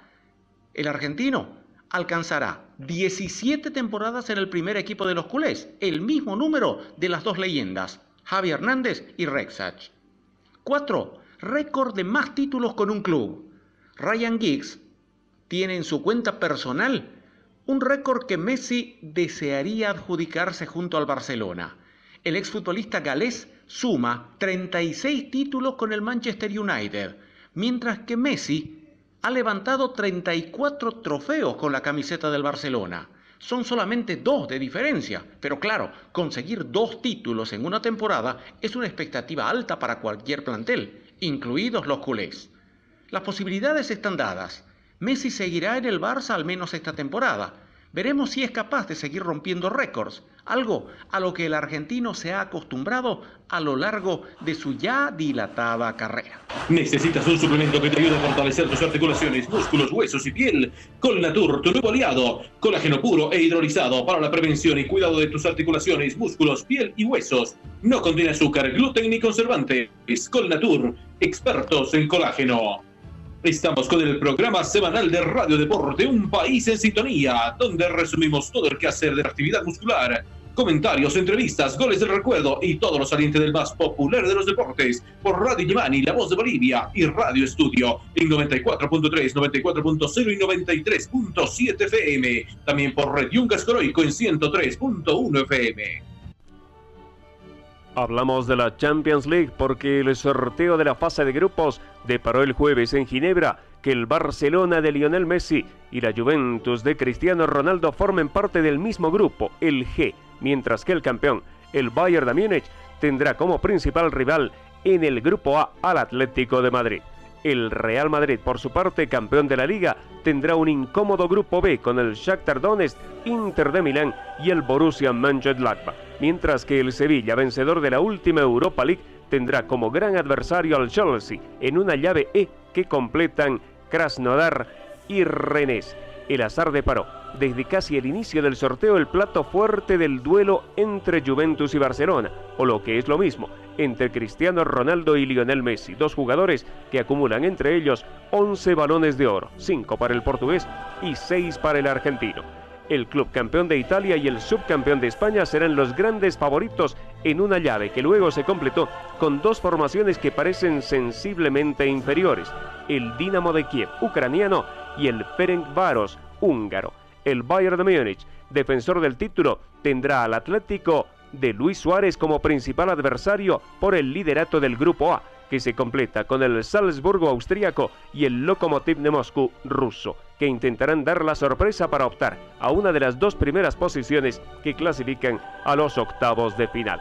El subcampeón de la pasada Champions, el Paris Saint-Germain, cayó en un grupo H más peligroso con el Manchester United y el Red Bull Leipzig, semifinalista europeo la pasada temporada como rivales el Estambul Basser Seher turco se presenta como la cenicienta en esa llave. Por su parte, el Liverpool vencedor de la Liga de Campeones en 2019 empezará su operación Reconquista en un grupo D en el que el Atalanta italiano se presenta como principal obstáculo, el Ajax de Ámsterdam y el debutante Midtjylland de Dinamarca como gran incógnita. Finalmente, el Manchester City de Joseph Guardiola será favorito en el C frente al Oporto, Olympiacos y Marsella, mientras que el Zenit, el Borussia Dortmund, Lazio y Brujas pelearán por las dos plazas en el grupo F.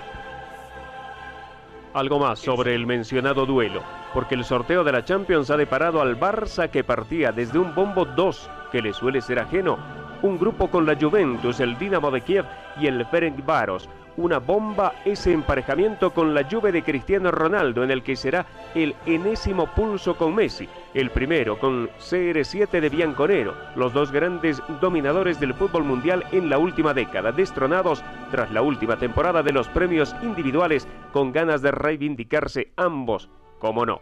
Será la cuarta vez que Messi y Cristiano se miran en Champions. En la primera, semifinales de la temporada 2007-2008, pasó el United con un 0 a 0 en la ida y un 1 a 0 en Old Trafford. En la segunda, al año siguiente, en la final, 2 a 0 para el Barça de Pep con gol de Leo de cabeza. Y en la tercera, semifinales de la temporada 2010-2011, 0 a 2 en el Bernabéu, doblete de Messi y 1 a 1 en el Camp Nou. Por tanto, 2 a 1 para el argentino. Además, en una temporada con continuos terremotos, no se sabe quién será el presidente que estará en la fase final, pero en el banquillo mandará Ronald Koeman, el protagonista de la primera Champions azulgrana en Wembley en 1992. Sueñan en el Barça con que el rubio holandés cierre el círculo y haga como Guardiola en su día, levantar la orejona como jugador y también como entrenador azulgrana. Para empezar, un grupo en el que la lógica dice que peleará el primer puesto con la Juve, pero sin riesgo de perderse los octavos. Y una noticia relacionada, la UEFA autorizó el jueves el regreso inmediato de los espectadores a los estadios en las competiciones europeas de fútbol, entre ellas la Champions League, pero con un límite máximo del 30% de la capacidad del recinto y según permitan las autoridades locales, aunque se sigue vetando el desplazamiento de hinchas visitantes. El Comité Ejecutivo de la UEFA decidió autorizar el regreso parcial de los espectadores en los partidos de la UEFA, cuando la legislación local lo permita y será a partir de los partidos de las selecciones nacionales de la próxima semana, indicó la Federación Europea el jueves en un comunicado. Desde que la pandemia del COVID-19 detuvo las competiciones en marzo, todos los partidos europeos se habían jugado a puerta cerrada, con la excepción de la Supercopa de Europa, que sirvió como test. La decisión permite ahora un regreso del público para los partidos de la Liga de Campeones y de la Europa League, cuyas fases de grupo arrancan los días 20 y 22 de octubre respectivamente, pero también para los encuentros amistosos de selecciones y de la Liga de Naciones previstos desde la próxima semana. Los aficionados visitantes no estarán autorizados y el límite no podrá superar los límites fijados por las autoridades nacionales, precisó la UEFA. La Supercopa de Europa sirvió de prueba a gran escala hace algunos días. Allí se fijó ese límite del 30% y 15.180 espectadores en el estadio de Budapest con capacidad para 68.000 personas pudieron ver la victoria 2 a 1 del Bayern de Múnich sobre el Sevilla. En su comunicado, la UEFA calificó de éxito ese test en Hungría y por ello mantiene el 30% como límite máximo. Lo dicho, la fase de grupos de la Champions League se inicia el 20 de octubre y finalizará el 29 de mayo del 2021 en Estambul. Nueva versión del mejor torneo del continente europeo, la Champions League.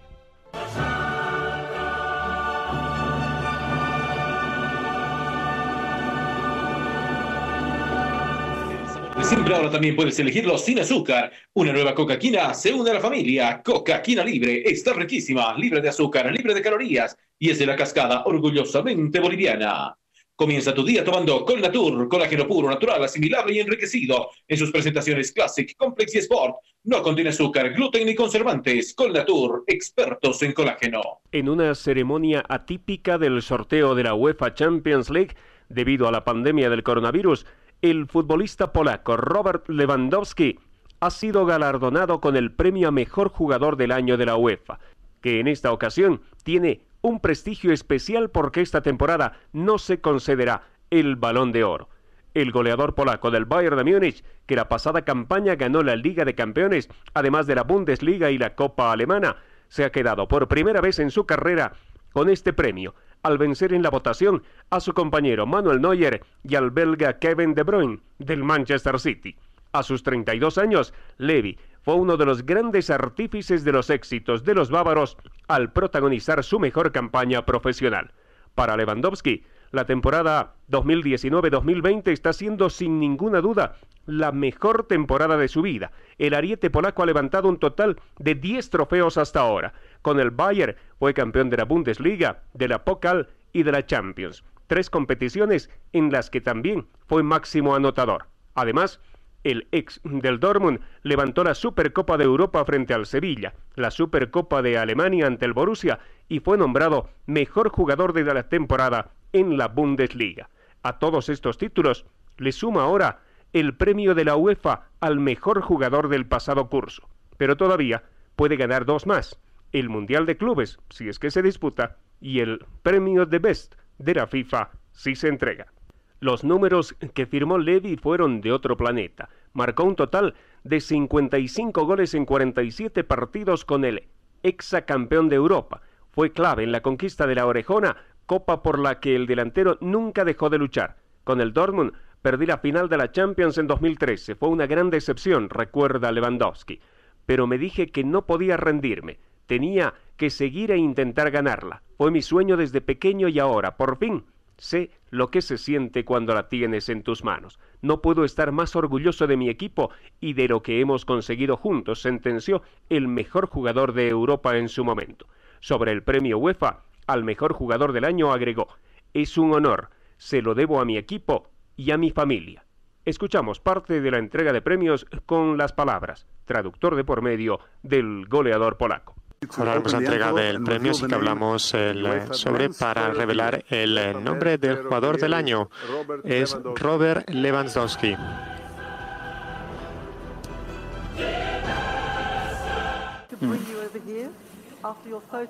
Qué delantero, madre mía. Muy completo, desde luego, en todos los sentidos. ¿no? Aparte que tiene gol, que es lo que, lo que hay que pedirle a los delanteros fundamentalmente, que metan goles. Feeling because you know if you work so hard and uh, in the end you get this trophy is uh, something something special. And uh, I have to say es increíble recibir este galardón. y gracias sin duda a los jugadores de mi equipo, a los entrenadores, al cuerpo técnico, porque se esfuerzan todos los días para prepararme. a fin de, fin de disputar bien los partidos y a mi familia porque me apoya mucho y sin duda para mí también es muy importante. Quería preguntarle sobre su viaje como jugador, porque es un ídolo para muchos y muchas jóvenes, jóvenes jugadores. Cuando empezó, ¿quién le ayudó más? ¿Quién le influyó más? Y creyó que realmente podía llegar a la élite. Es decir, que cuando era joven, era jugador joven, siempre soñaba con jugar en los grandes estadios, estar en los mejores clubes del mundo. Y ahora que estoy aquí en el escenario, pues eh, debo decir que el sueño se ha hecho realidad. Como primera vez, desde 1956 el balón de oro no será entregado debido a la pandemia del COVID-19 que ha perturbado las competiciones de fútbol.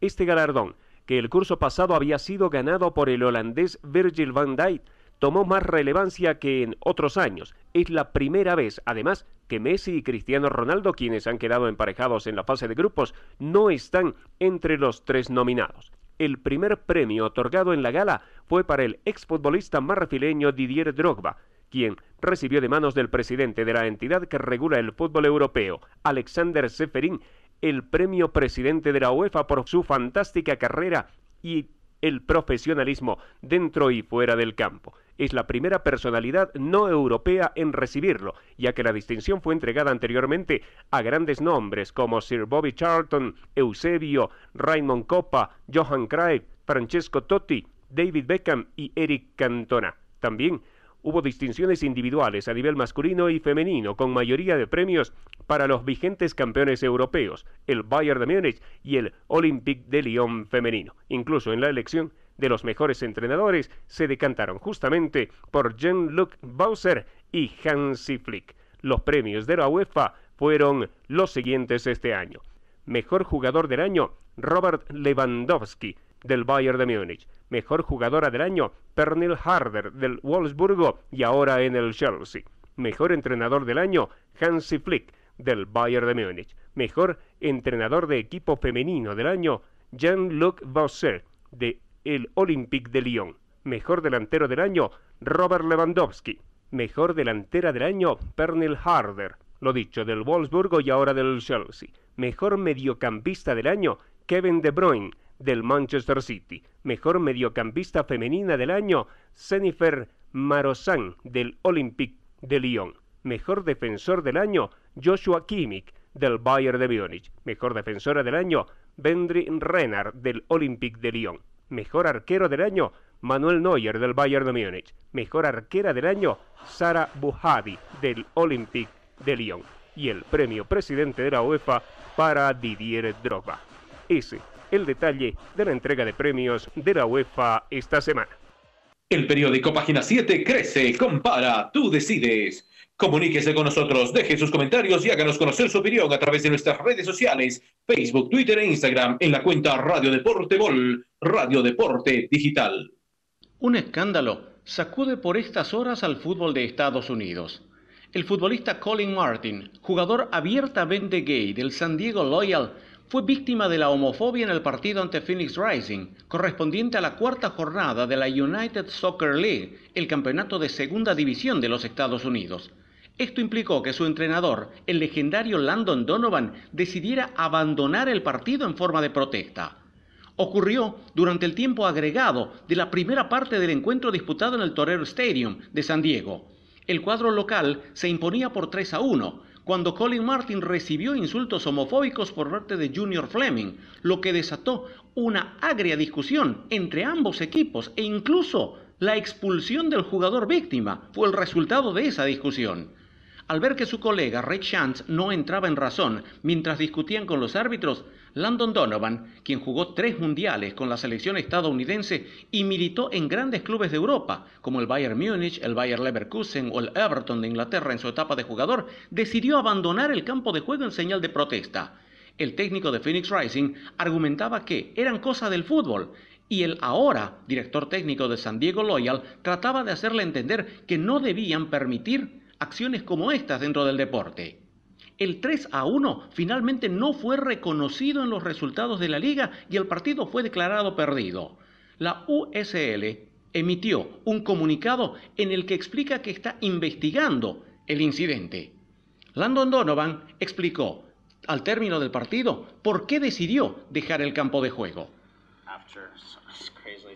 Al terminar el primer tiempo, Collins se acercó al cuarto árbitro. Y lo increíble es que terminó siendo expulsado él.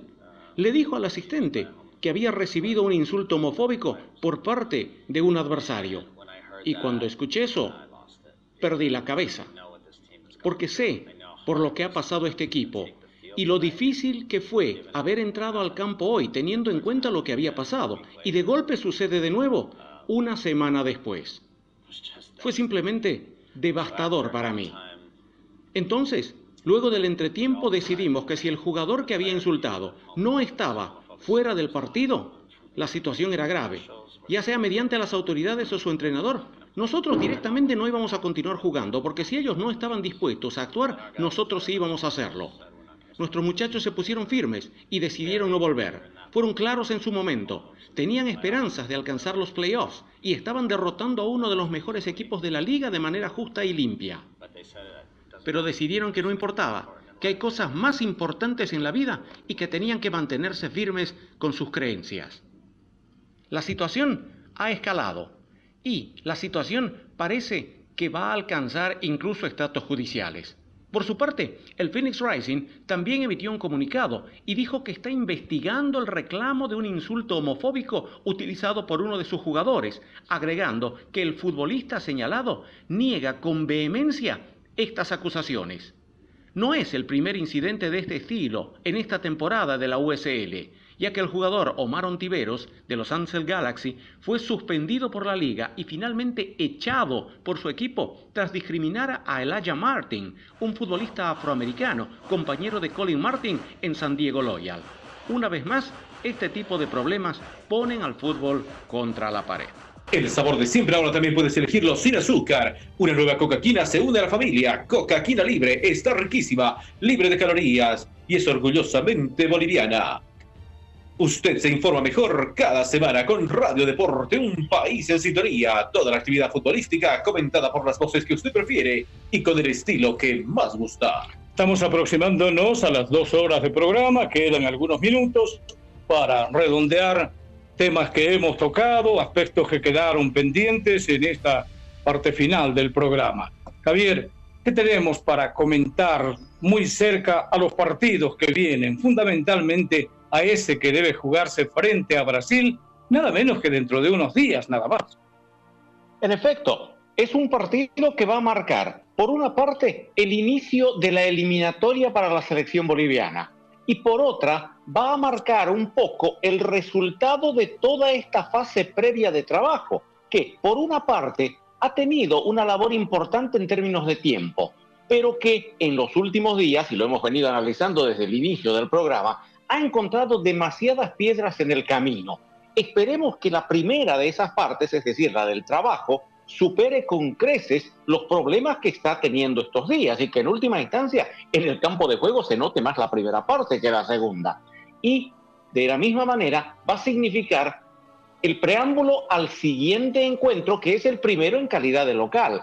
Pero para comenzar la eliminatoria a Bolivia, ya lo sabíamos desde hace mucho tiempo, iba a tocar la prueba más complicada, enfrentar a Brasil en calidad de visitante, de manera que la situación es por demás difícil. De todas maneras, estaremos siguiendo de cerca el trabajo, estaremos siguiendo de cerca el partido, pero para el conjunto nacional es una prueba de fuego. Los enfrentamientos de los últimos días entre equipos bolivianos y equipos brasileños nos ha dejado por una parte la satisfacción de lo que hizo Bill Cervani y por otra todos los problemas que confrontó Bolívar. Veremos qué es lo que sucede a nivel de selecciones, pero definitivamente la prueba está dada y para el conjunto nacional va a ser complicadísima. Estaremos ahí para verla. El partido que viene con Argentina indiscutiblemente es de mayor responsabilidad, diría yo, porque en el cálculo de posibilidades uno dice, el partido con Brasil está entre los partidos que se programan, este es difícil démoslo por perdido.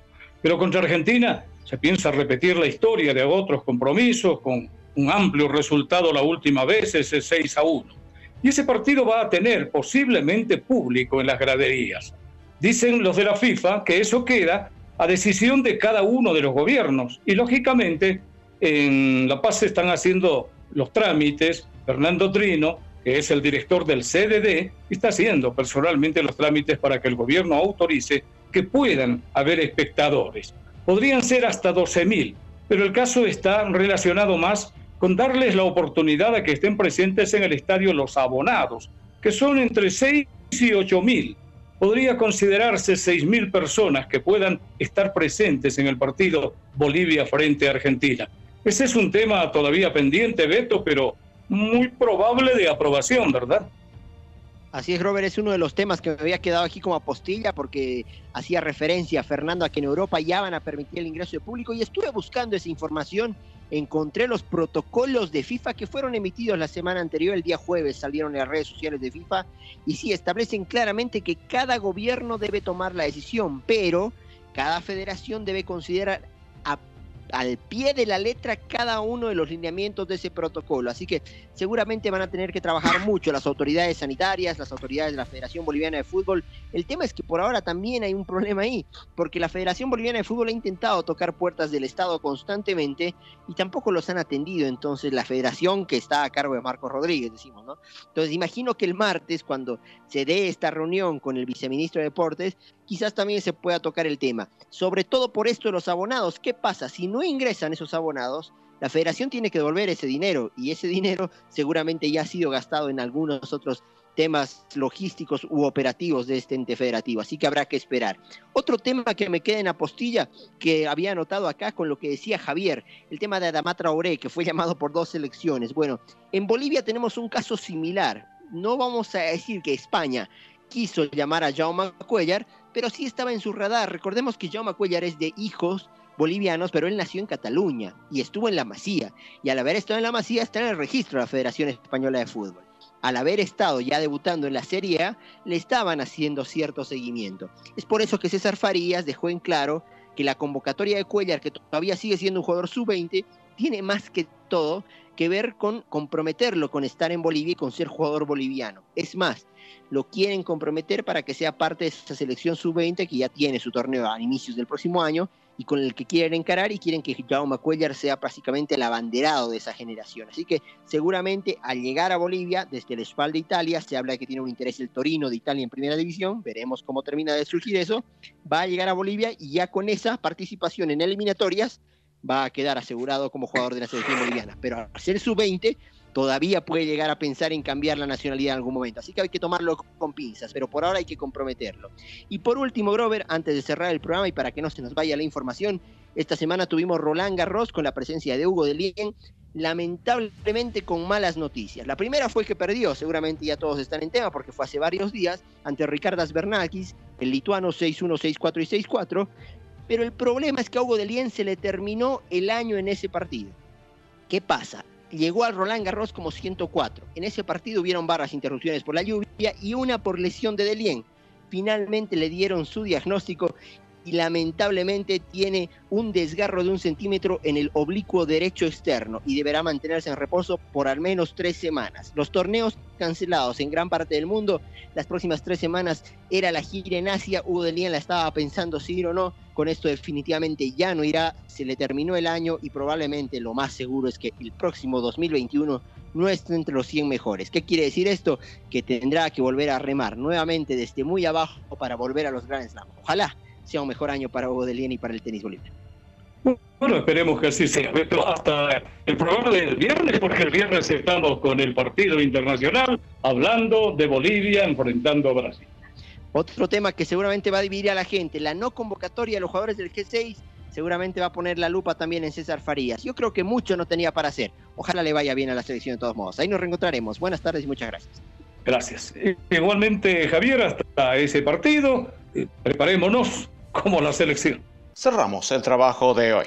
Nos reencontraremos el viernes cuando estemos hablando del inicio de la eliminatoria rumbo a Qatar 2022. Brasil frente a Bolivia será nuestro próximo encuentro. Será hasta ese momento. Gracias. Buenas tardes. Igualmente, Fernando, ¿verdad? El próximo viernes estamos otra vez para hablar, lógicamente, la previa de ese compromiso, media hora antes de que el partido se divide. Es así, Grover, y empezamos a palpitar lo que serán los partidos de las eliminatorias de la Conmebol rumbo al Mundial de Qatar 2022, recordando que comenzarán los encuentros el jueves 8 en Asunción, Paraguay, Perú, En Montevideo, Uruguay recibe a Chile y en Buenos Aires, la selección argentina recibe a la de Ecuador.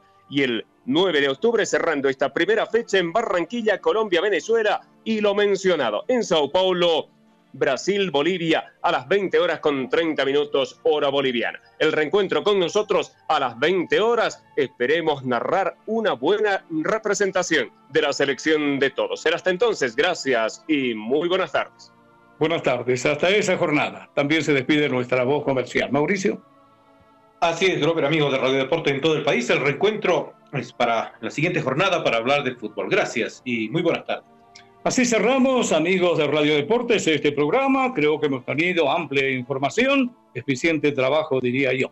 Pero ustedes son los fiscalizadores imparciales y esperamos sus novedades dentro de una semana. En nombre de todo el equipo de Radio Deporte, como siempre, gracias, buenas tardes y hasta el viernes, si Dios quiere.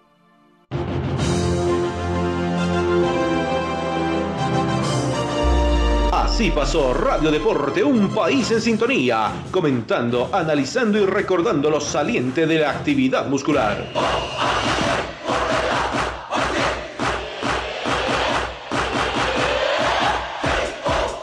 El equipo que dirige y encabeza Grover Echavarría estará junto a usted los fines de semana en esta etapa de reencuentro con deporte de multitudes. Gracias y hasta la próxima, amigos.